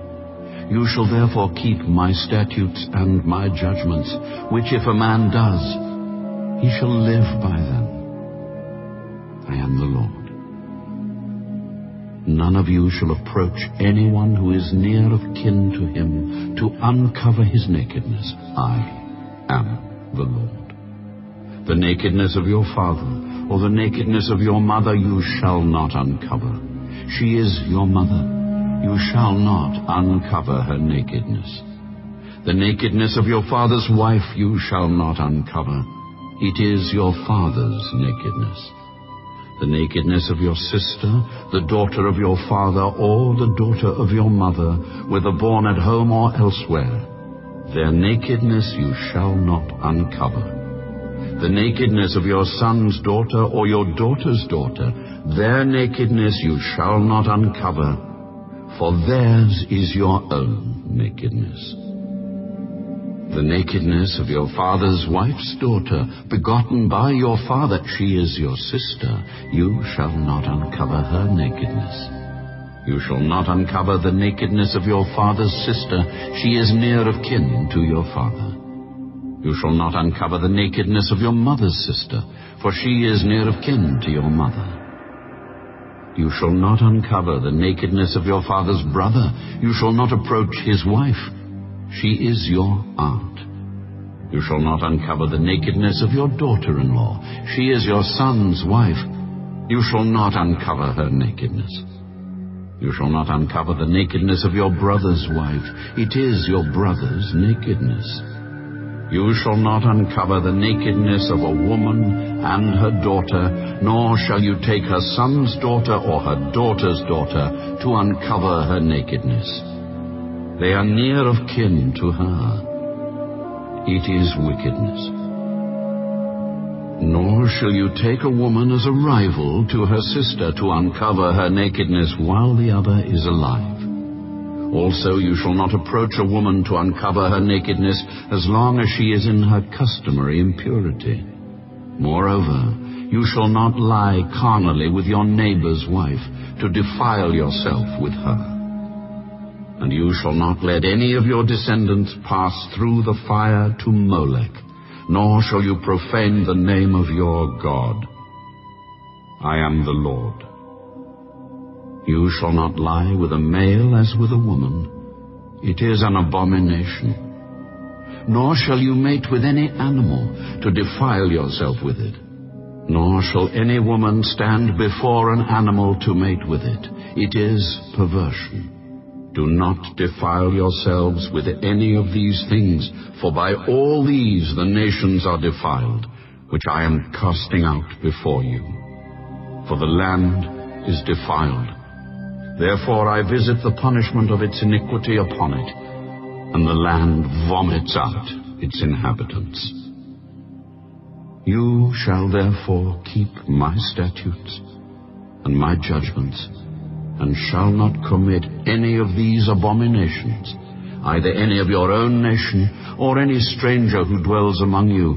For all these abominations the men of the land have done who were before you. And thus the land is defiled, lest the land vomit you out also when you defile it, as it vomited out the nations that were before you. For whoever commits any of these abominations, the persons who commit them shall be cut off from among their people.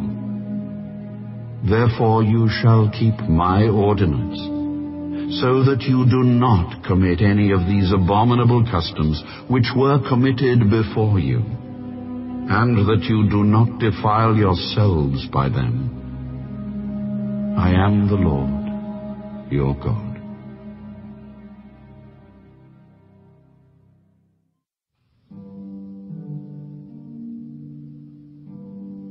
Speak to all the congregation of the children of Israel, and say to them, You shall be holy, for I, the Lord your God, am holy. Every one of you shall revere his mother and his father, and keep my Sabbaths. I am the Lord your God. Do not turn to idols, nor make for yourselves molded gods. I am the Lord your God. And if you offer a sacrifice of a peace offering to the Lord, you shall offer it of your own free will. It shall be eaten the same day you offer it, and on the next day. And if any remains until the third day, it shall be burned in the fire. And if it is eaten at all on the third day, it is an abomination. It shall not be accepted. Therefore everyone who eats it shall bear his iniquity, because he has profaned the hallowed offering of the Lord. And that person shall be cut off from his people. When you reap the harvest of your land, you shall not wholly reap the corners of your field, nor shall you gather the gleanings of your harvest. And you shall not glean your vineyard, nor shall you gather every grape of your vineyard. You shall leave them for the poor and the stranger. I am the Lord your God. You shall not steal, nor deal falsely, nor lie to one another. And you shall not swear by my name falsely, nor shall you profane the name of your God. I am the Lord. You shall not cheat your neighbor, nor rob him. The wages of him who is hired shall not remain with you all night until morning. You shall not curse the deaf, nor put a stumbling block before the blind, but shall fear your God. I am the Lord. You shall do no injustice in judgment. You shall not be partial to the poor, nor honor the person of the mighty. In righteousness you shall judge your neighbor. You shall not go about as a talebearer among your people, nor shall you take a stand against the life of your neighbor. I am the Lord. You shall not hate your brother in your heart. You shall surely rebuke your neighbor, and not bear sin because of him. You shall not take vengeance, nor bear any grudge against the children of your people, but you shall love your neighbor as yourself. I am the Lord. You shall keep my statutes. You shall not let your livestock breed with another kind. You shall not sow your field with mixed seed, nor shall a garment of mixed linen and wool come upon you. Whoever lies carnally with a woman who is betrothed to a man as a concubine, and who has not at all been redeemed nor given her freedom, for this there shall be scourging, but they shall not be put to death, because she was not free. And he shall bring his trespass offering to the Lord, to the door of the tabernacle of meeting, a ram as a trespass offering. The priest shall make atonement for him with the ram of the trespass offering before the Lord for his sin which he has committed. And the sin which he has committed shall be forgiven him. When you come into the land, and have planted all kinds of trees for food, then you shall count their fruit as uncircumcised. Three years it shall be as uncircumcised to you, it shall not be eaten. But in the fourth year all its fruit shall be holy, a praise to the Lord. And in the fifth year you may eat its fruit, that it may yield to you its increase. I am the Lord your God. You shall not eat anything with the blood, nor shall you practice divination or soothsaying. You shall not shave around the sides of your head, nor shall you disfigure the edges of your beard. You shall not make any cuttings in your flesh for the dead, nor tattoo any marks on you. I am the Lord. Do not prostitute your daughter, to cause her to be a harlot, lest the land fall into harlotry, and the land become full of wickedness. You shall keep my Sabbaths, and reverence my sanctuary. I am the Lord. Give no regard to mediums and familiar spirits. Do not seek after them to be defiled by them. I am the Lord your God. You shall rise before the gray-headed and honor the presence of an old man, and fear your God. I am the Lord. And if a stranger dwells with you in your land, you shall not mistreat him.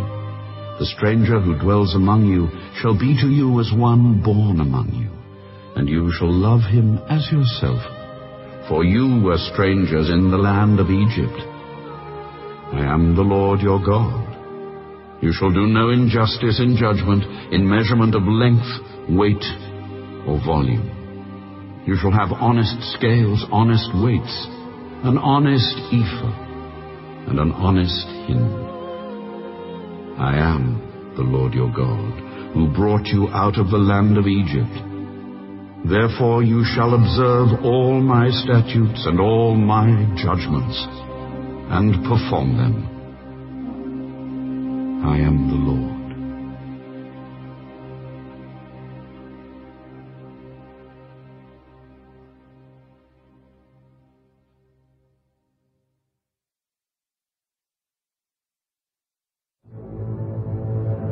Then the Lord spoke to Moses, Again you shall say to the children of Israel, Whoever of the children of Israel or of the strangers who dwell in Israel, who gives any of his descendants to Molech, he shall surely be put to death. The people of the land shall stone him with stones. I will set my face against that man, and will cut him off from his people, because he has given some of his descendants to Molech, to defile my sanctuary, and profane my holy name. And if the people of the land should in any way hide their eyes from the man when he gives some of his descendants to Molech, and they do not kill him, then I will set my face against that man and against his family, and I will cut him off from his people and all who prostitute themselves with him to commit harlotry with Molech. And the person who turns to mediums and familiar spirits to prostitute himself with them, I will set my face against that person and cut him off from his people. Consecrate yourselves, therefore, and be holy, for I am the Lord your God, and you shall keep my statutes and perform them. I am the Lord who sanctifies you. For everyone who curses his father or his mother shall surely be put to death. He has cursed his father or his mother. His blood shall be upon him. The man who commits adultery with another man's wife, he who commits adultery with his neighbor's wife, the adulterer and the adulteress, shall surely be put to death. The man who lies with his father's wife has uncovered his father's nakedness. Both of them shall surely be put to death. Their blood shall be upon them. If a man lies with his daughter-in-law, both of them shall surely be put to death. They have committed perversion. Their blood shall be upon them. If a man lies with a male as he lies with a woman, both of them have committed an abomination they shall surely be put to death. Their blood shall be upon them. If a man marries a woman and her mother, it is wickedness. They shall be burned with fire, both he and they, that there may be no wickedness among you. If a man mates with an animal, he shall surely be put to death, and you shall kill the animal. If a woman approaches any animal and mates with it, you shall kill the woman and the animal. They shall surely be put to death. Their blood is upon them. If a man takes his sister, his father's daughter, or his mother's daughter, and sees her nakedness, and she sees his nakedness, it is a wicked thing, and they shall be cut off in the sight of their people. He has uncovered his sister's nakedness. He shall bear his guilt. If a man lies with a woman during her sickness and uncovers her nakedness, he has exposed her flow, and she has uncovered the flow of her blood. Both of them shall be cut off from their people. You shall not uncover the nakedness of your mother's sister, nor of your father's sister, for that would uncover his near of kin. They shall bear their guilt. If a man lies with his uncle's wife, he has uncovered his uncle's nakedness. They shall bear their sin. They shall die childless. If a man takes his brother's wife, it is an unclean thing. He has uncovered his brother's nakedness. They shall be childless. You shall therefore keep all my statutes and all my judgments, and perform them, that the land where I am bringing you to dwell may not vomit you out and you shall not walk in the statutes of the nation which I am casting out before you, for they commit all these things, and therefore I abhor them. But I have said to you, You shall inherit their land, and I will give it to you to possess, a land flowing with milk and honey. I am the Lord your God, who has separated you from the peoples. You shall therefore distinguish between clean animals and unclean, between unclean birds and clean, and you shall not make yourselves abominable by beast or by bird, or by any kind of living thing that creeps on the ground, which I have separated from you as unclean. And you shall be holy to me, for I the Lord am holy, and have separated you from the peoples, that you should be mine. A man or a woman who is a medium, or who has familiar spirits, shall surely be put to death. They shall stone them with stones. Their blood shall be upon them.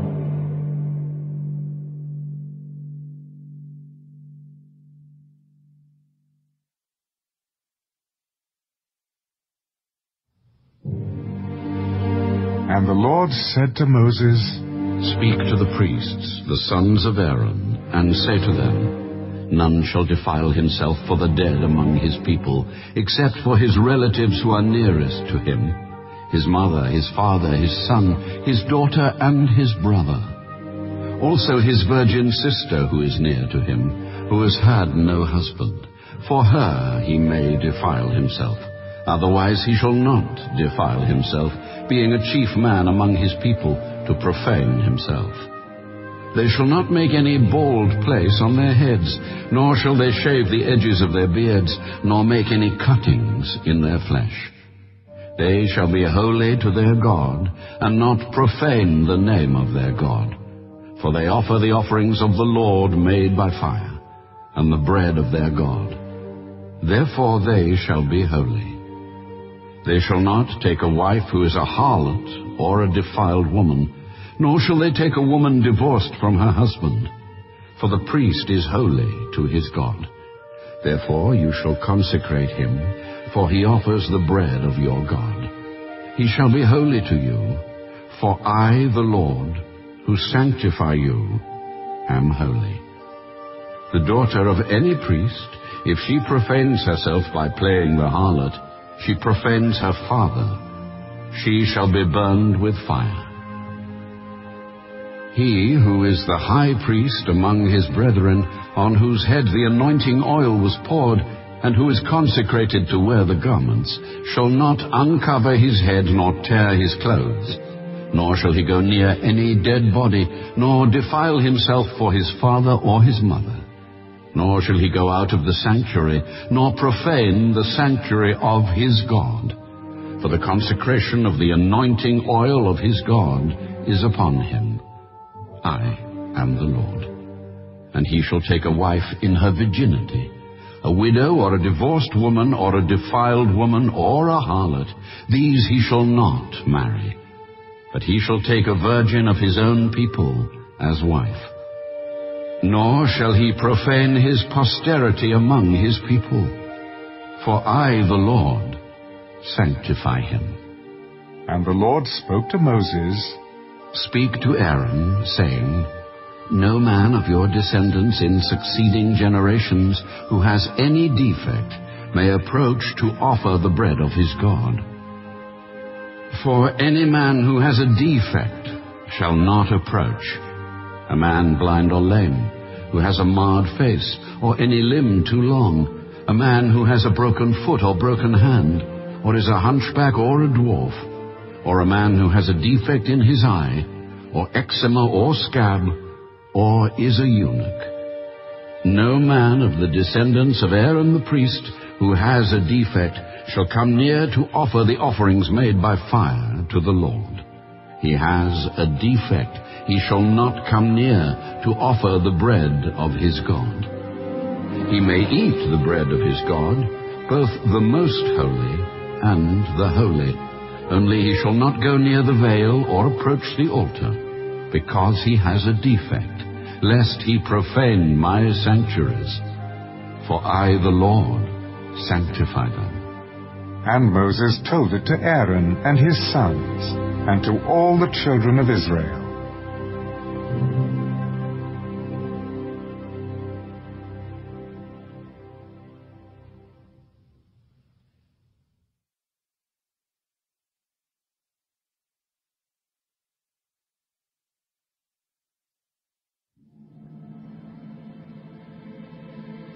Then the Lord spoke to Moses.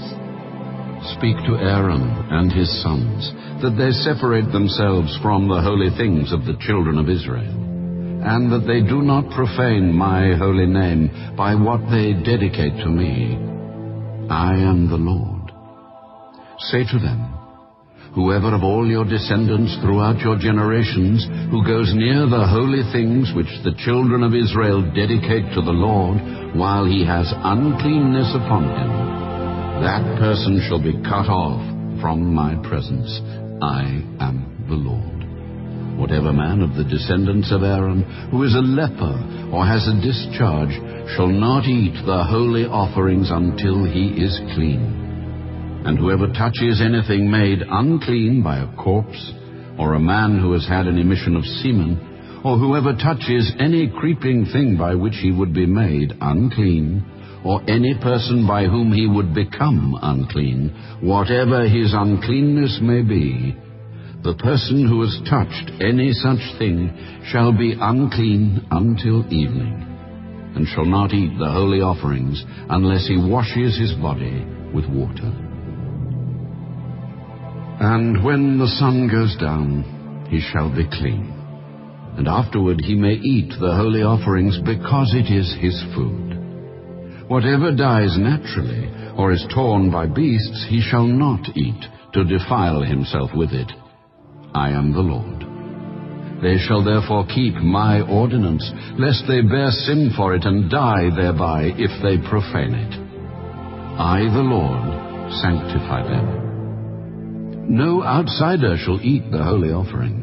One who dwells with the priest or a hired servant shall not eat the holy thing. But if the priest buys a person with his money, he may eat it. And one who is born in his house may eat his food. If the priest's daughter is married to an outsider, she may not eat of the holy offerings. But if the priest's daughter is a widow or divorced and has no child, and has returned to her father's house as in her youth, she may eat her father's food. But no outsider shall eat it.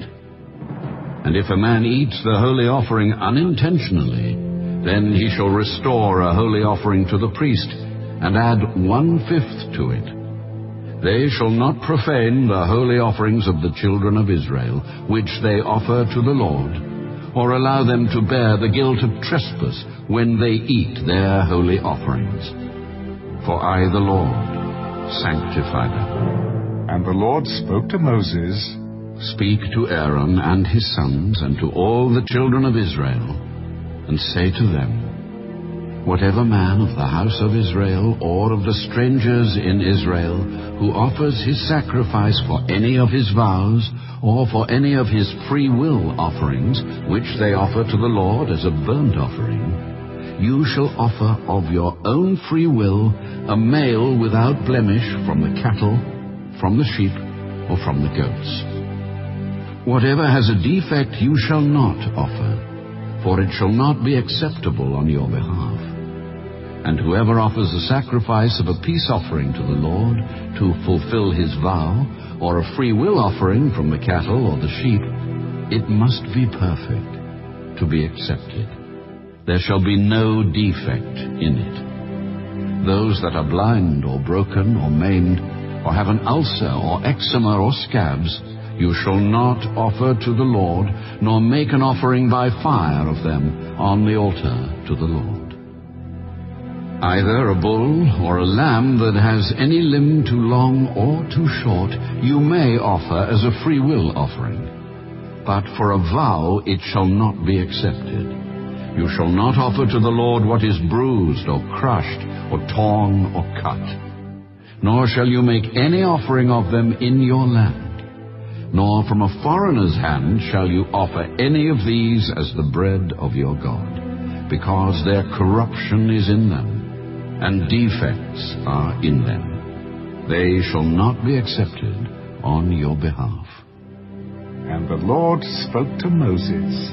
When a bull, or a sheep, or a goat is born, it shall be seven days with its mother, and from the eighth day and thereafter it shall be accepted as an offering made by fire to the Lord. Whether it is a cow or ewe, do not kill both her and her young on the same day. And when you offer a sacrifice of thanksgiving to the Lord, offer it of your own free will.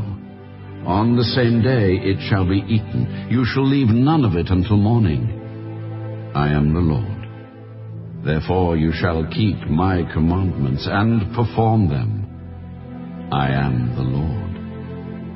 You shall not profane my holy name, but I will be hallowed among the children of Israel. I am the Lord who sanctifies you, who brought you out of the land of Egypt to be your God. I am the Lord.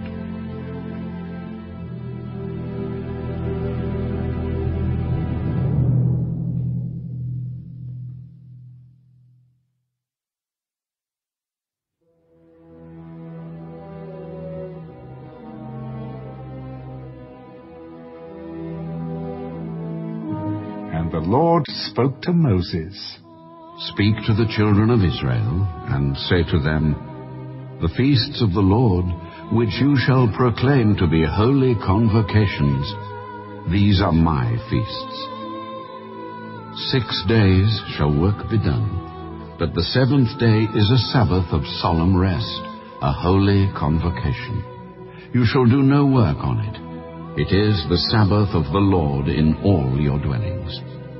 These are the feasts of the Lord, holy convocations, which you shall proclaim at their appointed times. On the fourteenth day of the first month at twilight is the Lord's Passover, and on the fifteenth day of the same month is the feast of unleavened bread to the Lord. Seven days you must eat unleavened bread. On the first day you shall have a holy convocation you shall do no customary work on it, but you shall offer an offering made by fire to the Lord for seven days. The seventh day shall be a holy convocation. You shall do no customary work on it. Speak to the children of Israel, and say to them, When you come into the land which I give to you, and reap its harvest, then you shall bring a sheaf of the first fruits of your harvest to the priest he shall wave the sheaf before the Lord to be accepted on your behalf. On the day after the Sabbath, the priest shall wave it. And you shall offer on that day, when you wave the sheaf, a male lamb of the first year, without blemish, as a burnt offering to the Lord. Its grain offering shall be two-tenths of an ephah of fine flour mixed with oil, an offering made by fire to the Lord for a sweet aroma and its drink offering shall be of wine, one-fourth of a hin. You shall eat neither bread, nor parched grain, nor fresh grain, until the same day that you have brought an offering to your God. It shall be a statute forever throughout your generations in all your dwellings. And you shall count for yourselves from the day after the Sabbath, from the day that you brought the sheaf of the wave offering, seven Sabbaths, shall be completed. Count fifty days to the day after the seventh Sabbath. Then you shall offer a new grain offering to the Lord.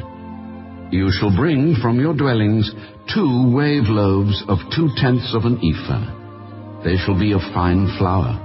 They shall be baked with leaven. They are the first fruits to the Lord.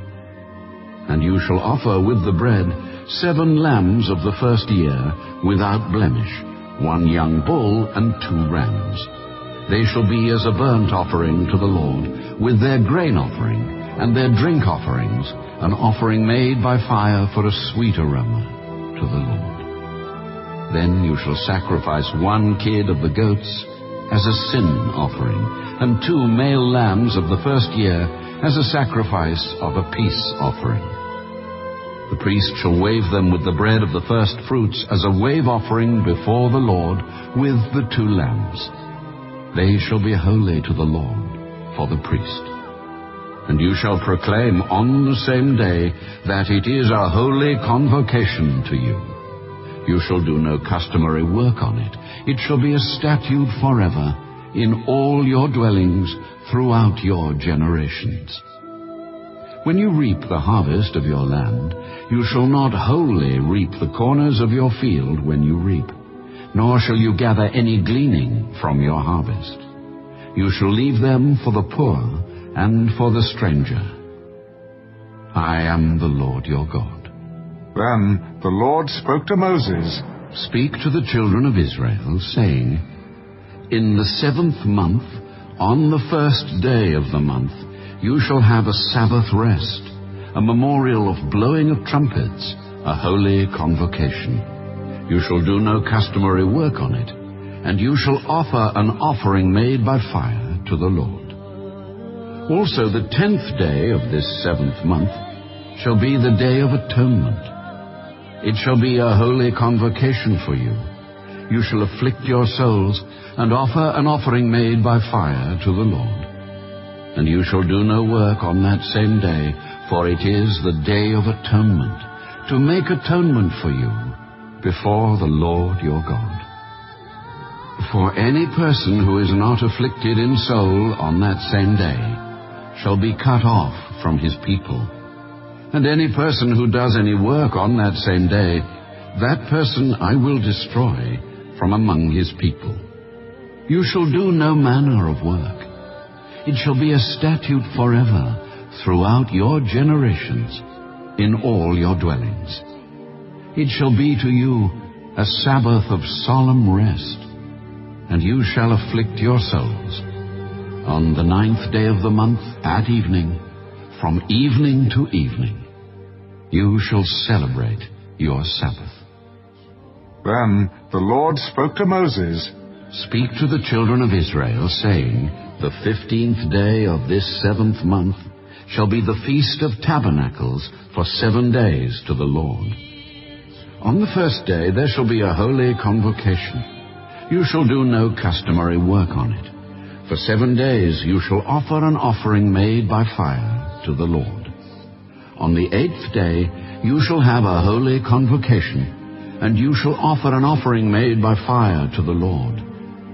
It is a sacred assembly, and you shall do no customary work on it. These are the feasts of the Lord, which you shall proclaim to be holy convocations, to offer an offering made by fire to the Lord, a burnt offering and a grain offering, a sacrifice and drink offerings, everything on its day besides the Sabbaths of the Lord, besides your gifts, besides all your vows, and besides all your free will offerings which you give to the Lord. Also, on the fifteenth day of the seventh month, when you have gathered in the fruit of the land, you shall keep the feast of the Lord for seven days. On the first day there shall be a Sabbath rest, and on the eighth day a Sabbath rest. And you shall take for yourselves on the first day the fruit of beautiful trees, branches of palm trees, the boughs of leafy trees, and willows of the brook. And you shall rejoice before the Lord your God for seven days. You shall keep it as a feast to the Lord for seven days in the year. It shall be a statute forever in your generations. You shall celebrate it in the seventh month. You shall dwell in booths for seven days. All who are native Israelites shall dwell in booths, that your generations may know that I made the children of Israel dwell in booths when I brought them out of the land of Egypt. I am the Lord your God.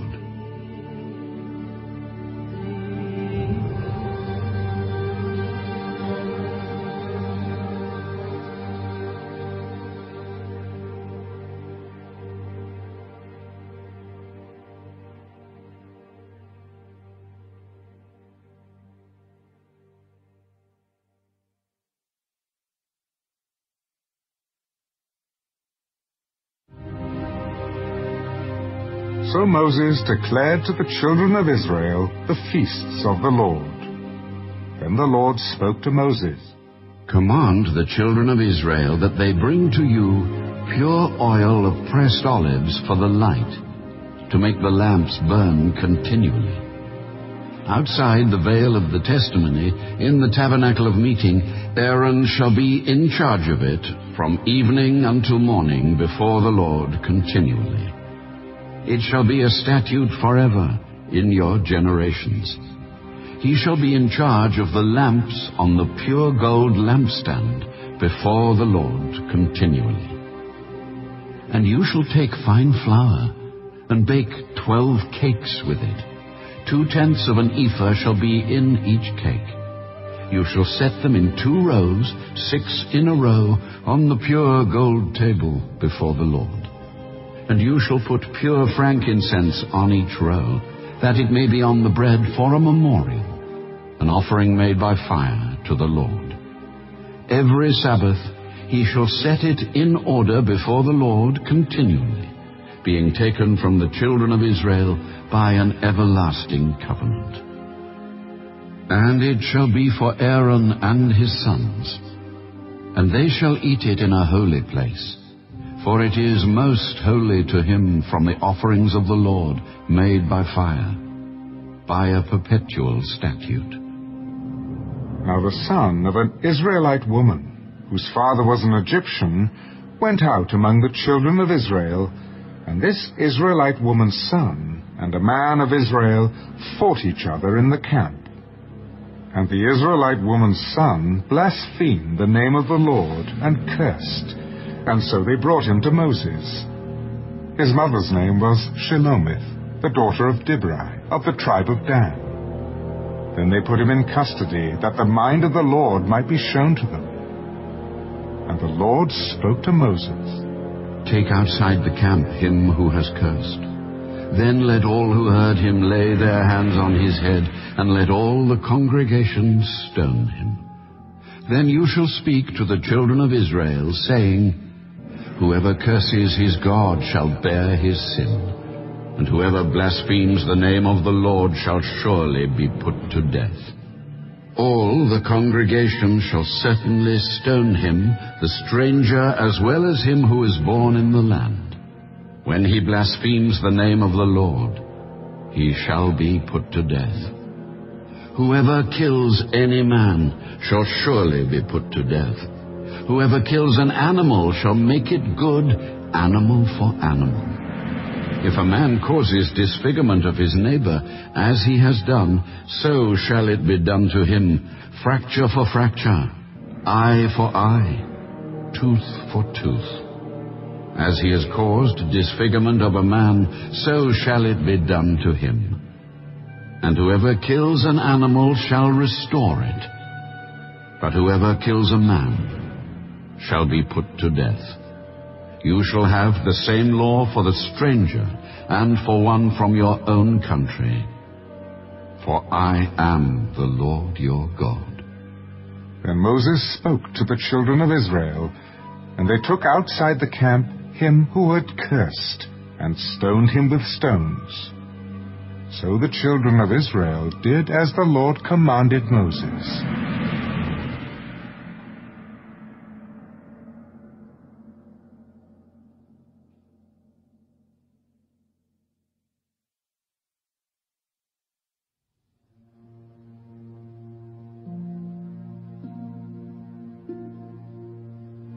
The Lord spoke to Moses on Mount Sinai, Speak to the children of Israel, and say to them, When you come into the land which I give you, then the land shall keep a Sabbath to the Lord. Six years you shall sow your field, and six years you shall prune your vineyard, and gather its fruit. But in the seventh year there shall be a Sabbath of solemn rest for the land, a Sabbath to the Lord. You shall neither sow your field nor prune your vineyard. What grows of its own accord of your harvest you shall not reap, nor gather the grapes of your untended vine, for it is a year of rest for the land.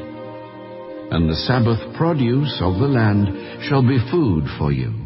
For you, your male and female servants, your hired man, and the stranger who dwells with you, for your livestock and the beasts that are in your land. All its produce shall be for food. And you shall count seven Sabbaths of years for yourself, seven times seven years. And the time of the seven Sabbaths of years shall be to you forty-nine years.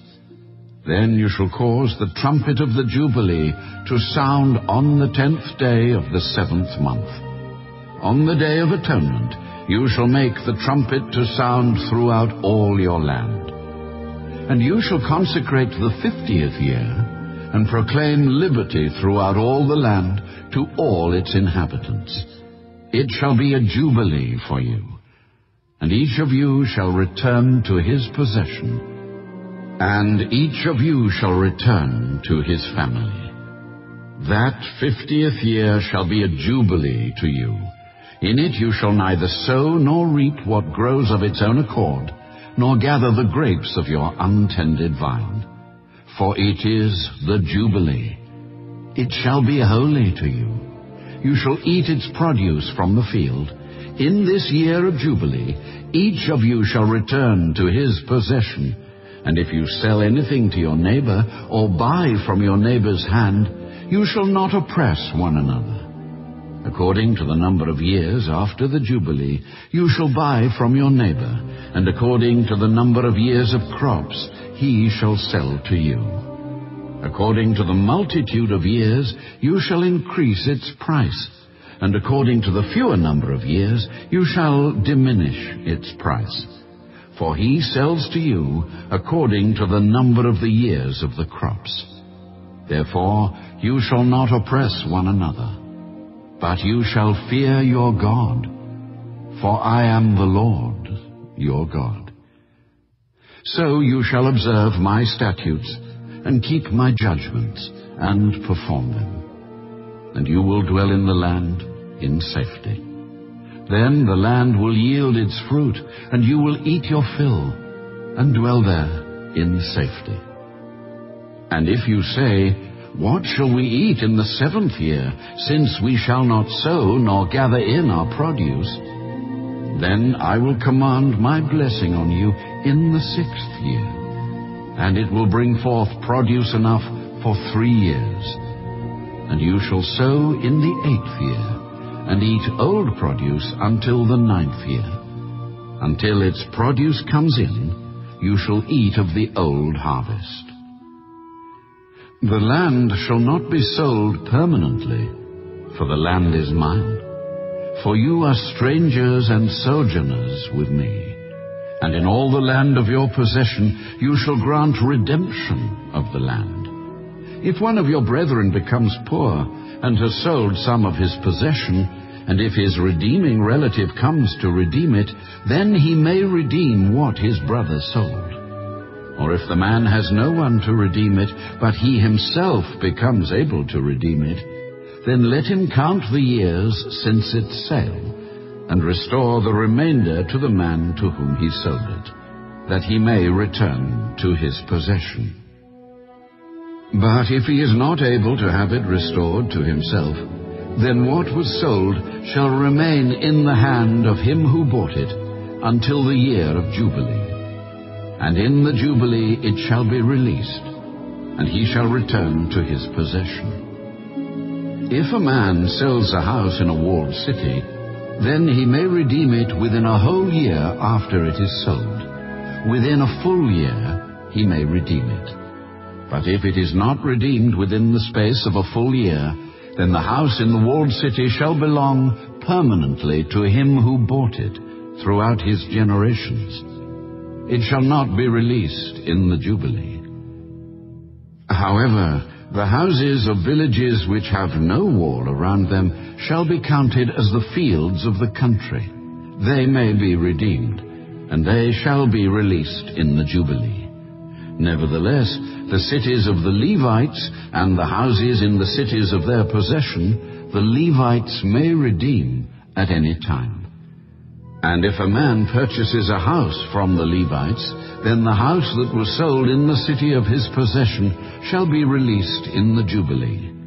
For the houses in the cities of the Levites are their possession among the children of Israel but the field of the common land of their cities may not be sold, for it is their perpetual possession. If one of your brethren becomes poor and falls into poverty among you, then you shall help him, like a stranger or a sojourner, that he may live with you. Take no usury or interest from him, but fear your God, that your brother may live with you. You shall not lend him your money for usury, nor lend him your food at a profit. I am the Lord your God, who brought you out of the land of Egypt, to give you the land of Canaan, and to be your God. And if one of your brethren who dwells by you becomes poor, and sells himself to you, you shall not compel him to serve as a slave. As a hired servant and a sojourner he shall be with you, and shall serve you until the year of Jubilee. And then he shall depart from you, he and his children with him, and shall return to his own family. He shall return to the possession of his fathers. For they are my servants, whom I brought out of the land of Egypt. They shall not be sold as slaves. You shall not rule over him with rigor, but you shall fear your God. And as for your male and female slaves whom you may have from the nations that are around you, from them you may buy male and female slaves. Moreover, you may buy the children of the strangers who dwell among you, and their families who are with you, which they beget in your land. And they shall become your property. And you may take them as an inheritance for your children after you, to inherit them as a possession. They shall be your permanent slaves. But regarding your brethren, the children of Israel, you shall not rule over one another with rigor. Now if a sojourner or stranger close to you becomes rich, and one of your brethren who dwells by him becomes poor, and sells himself to the stranger or sojourner close to you, or to a member of the stranger's family, after he is sold, he may be redeemed again. One of his brothers may redeem him, or his uncle, or his uncle's son may redeem him or anyone who is near of kin to him in his family may redeem him. Or if he is able, he may redeem himself. Thus he shall reckon with him who bought him. The price of his release shall be according to the number of years from the year that he was sold to him until the year of Jubilee. It shall be according to the time of a hired servant for him. If there are still many years remaining, according to them he shall repay the price of his redemption from the money with which he was bought. And if there remain but a few years until the year of Jubilee, then he shall reckon with him, and according to his years he shall repay him the price of his redemption. He shall be with him as a yearly hired servant, and he shall not rule with rigor over him in your sight. And if he is not redeemed in these years, then he shall be released in the year of Jubilee, he and his children with him. For the children of Israel are servants to me. They are my servants, whom I brought out of the land of Egypt. I am the Lord your God.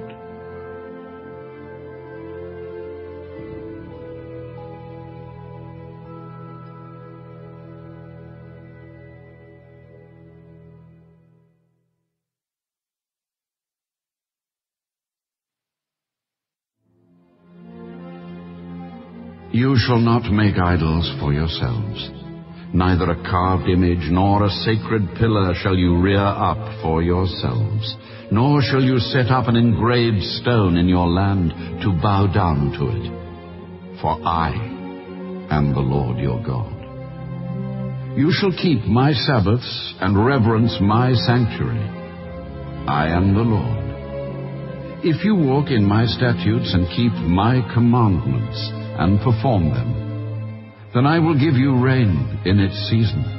The land shall yield its produce, and the trees of the field shall yield their fruit. Your threshing shall last till the time of vintage, and the vintage shall last till the time of sowing. You shall eat your bread to the full, and dwell in your land safely. I will give peace in the land, and you shall lie down, and none will make you afraid. I will rid the land of evil beasts, and the sword will not go through your land. You will chase your enemies, and they shall fall by the sword before you. Five of you shall chase a hundred, and a hundred of you shall put ten thousand to flight. Your enemies shall fall by the sword before you. For I will look on you favorably, and make you fruitful, multiply you, and confirm my covenant with you. You shall eat the old harvest and clear out the old because of the new. I will set my tabernacle among you, and my soul shall not abhor you. I will walk among you and be your God, and you shall be my people. I am the Lord your God, who brought you out of the land of Egypt that you should not be their slaves. I have broken the bands of your yoke and made you walk upright. But if you do not obey me, and do not observe all these commandments, and if you despise my statutes, or if your soul abhors my judgments, so that you do not perform all my commandments, but break my covenant, I also will do this to you. I will even appoint terror over you, wasting disease and fever, which shall consume the eyes, and cause sorrow of heart. And you shall sow your seed in vain, for your enemies shall eat it. I will set my face against you, and you shall be defeated by your enemies. Those who hate you shall reign over you and you shall flee when no one pursues you. And after all this, if you do not obey me, then I will punish you seven times more for your sins. I will break the pride of your power. I will make your heavens like iron, and your earth like bronze. And your strength shall be spent in vain. For your land shall not yield its produce, nor shall the trees of the land yield their fruit. Then, if you walk contrary to me, and are not willing to obey me, I will bring on you seven times more plagues, according to your sins. I will also send wild beasts among you, which shall rob you of your children, destroy your livestock, and make you few in number and your highways shall be desolate.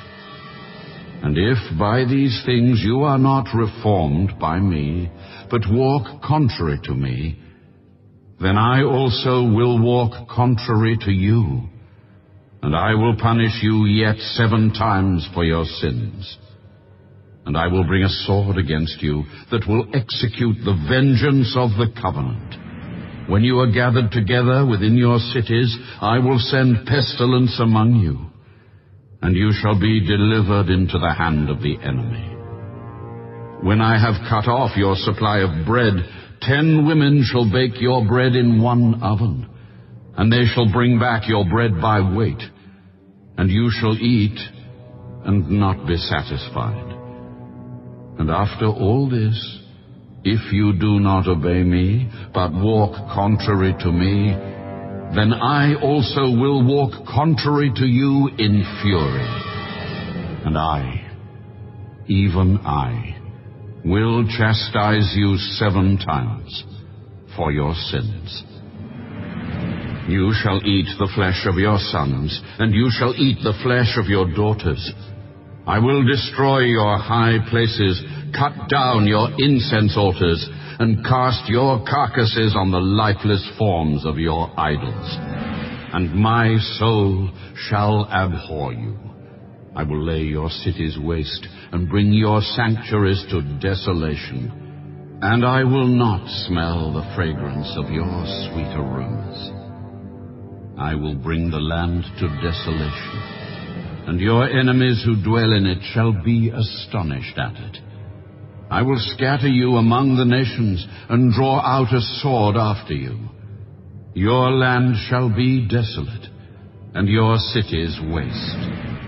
Then the land shall enjoy its Sabbaths as long as it lies desolate, and you are in your enemy's land. Then the land shall rest and enjoy its Sabbaths.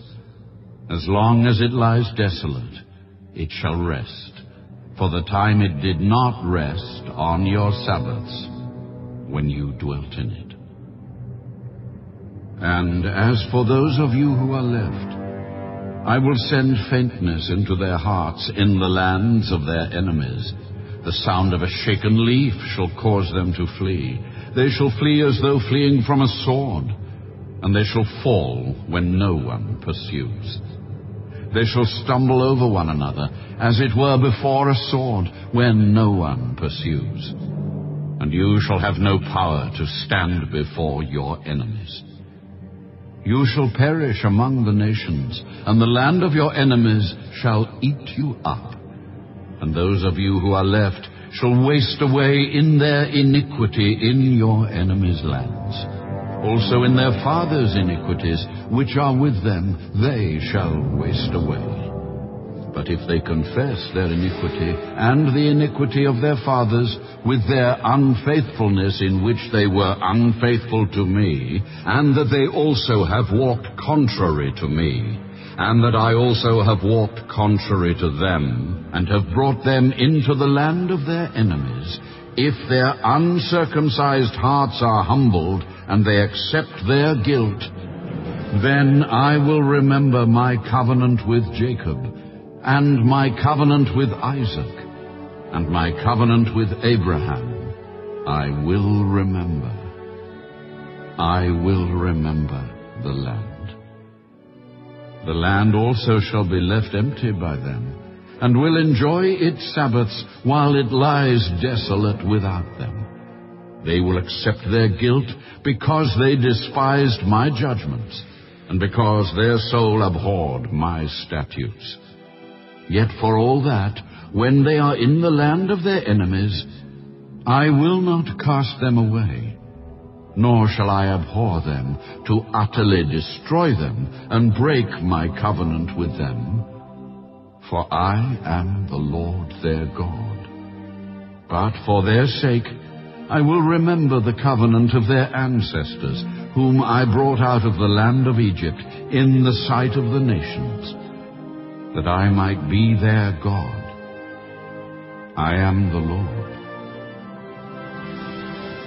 These are the statutes and judgments and laws which the Lord made between himself and the children of Israel on Mount Sinai by the hand of Moses.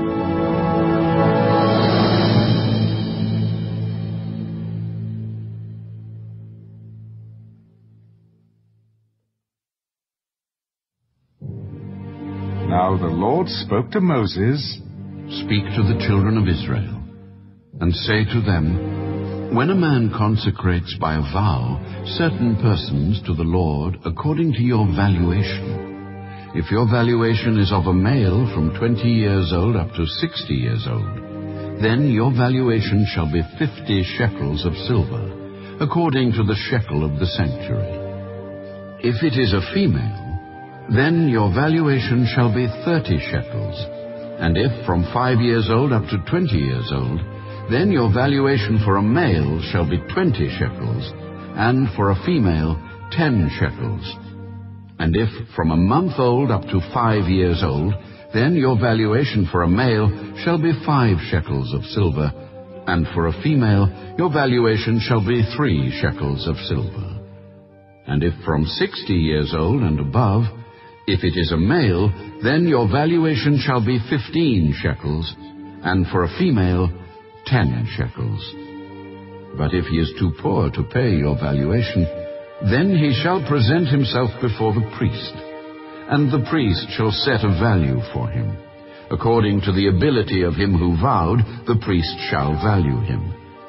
If it is an animal that men may bring as an offering to the Lord, all that anyone gives to the Lord shall be holy.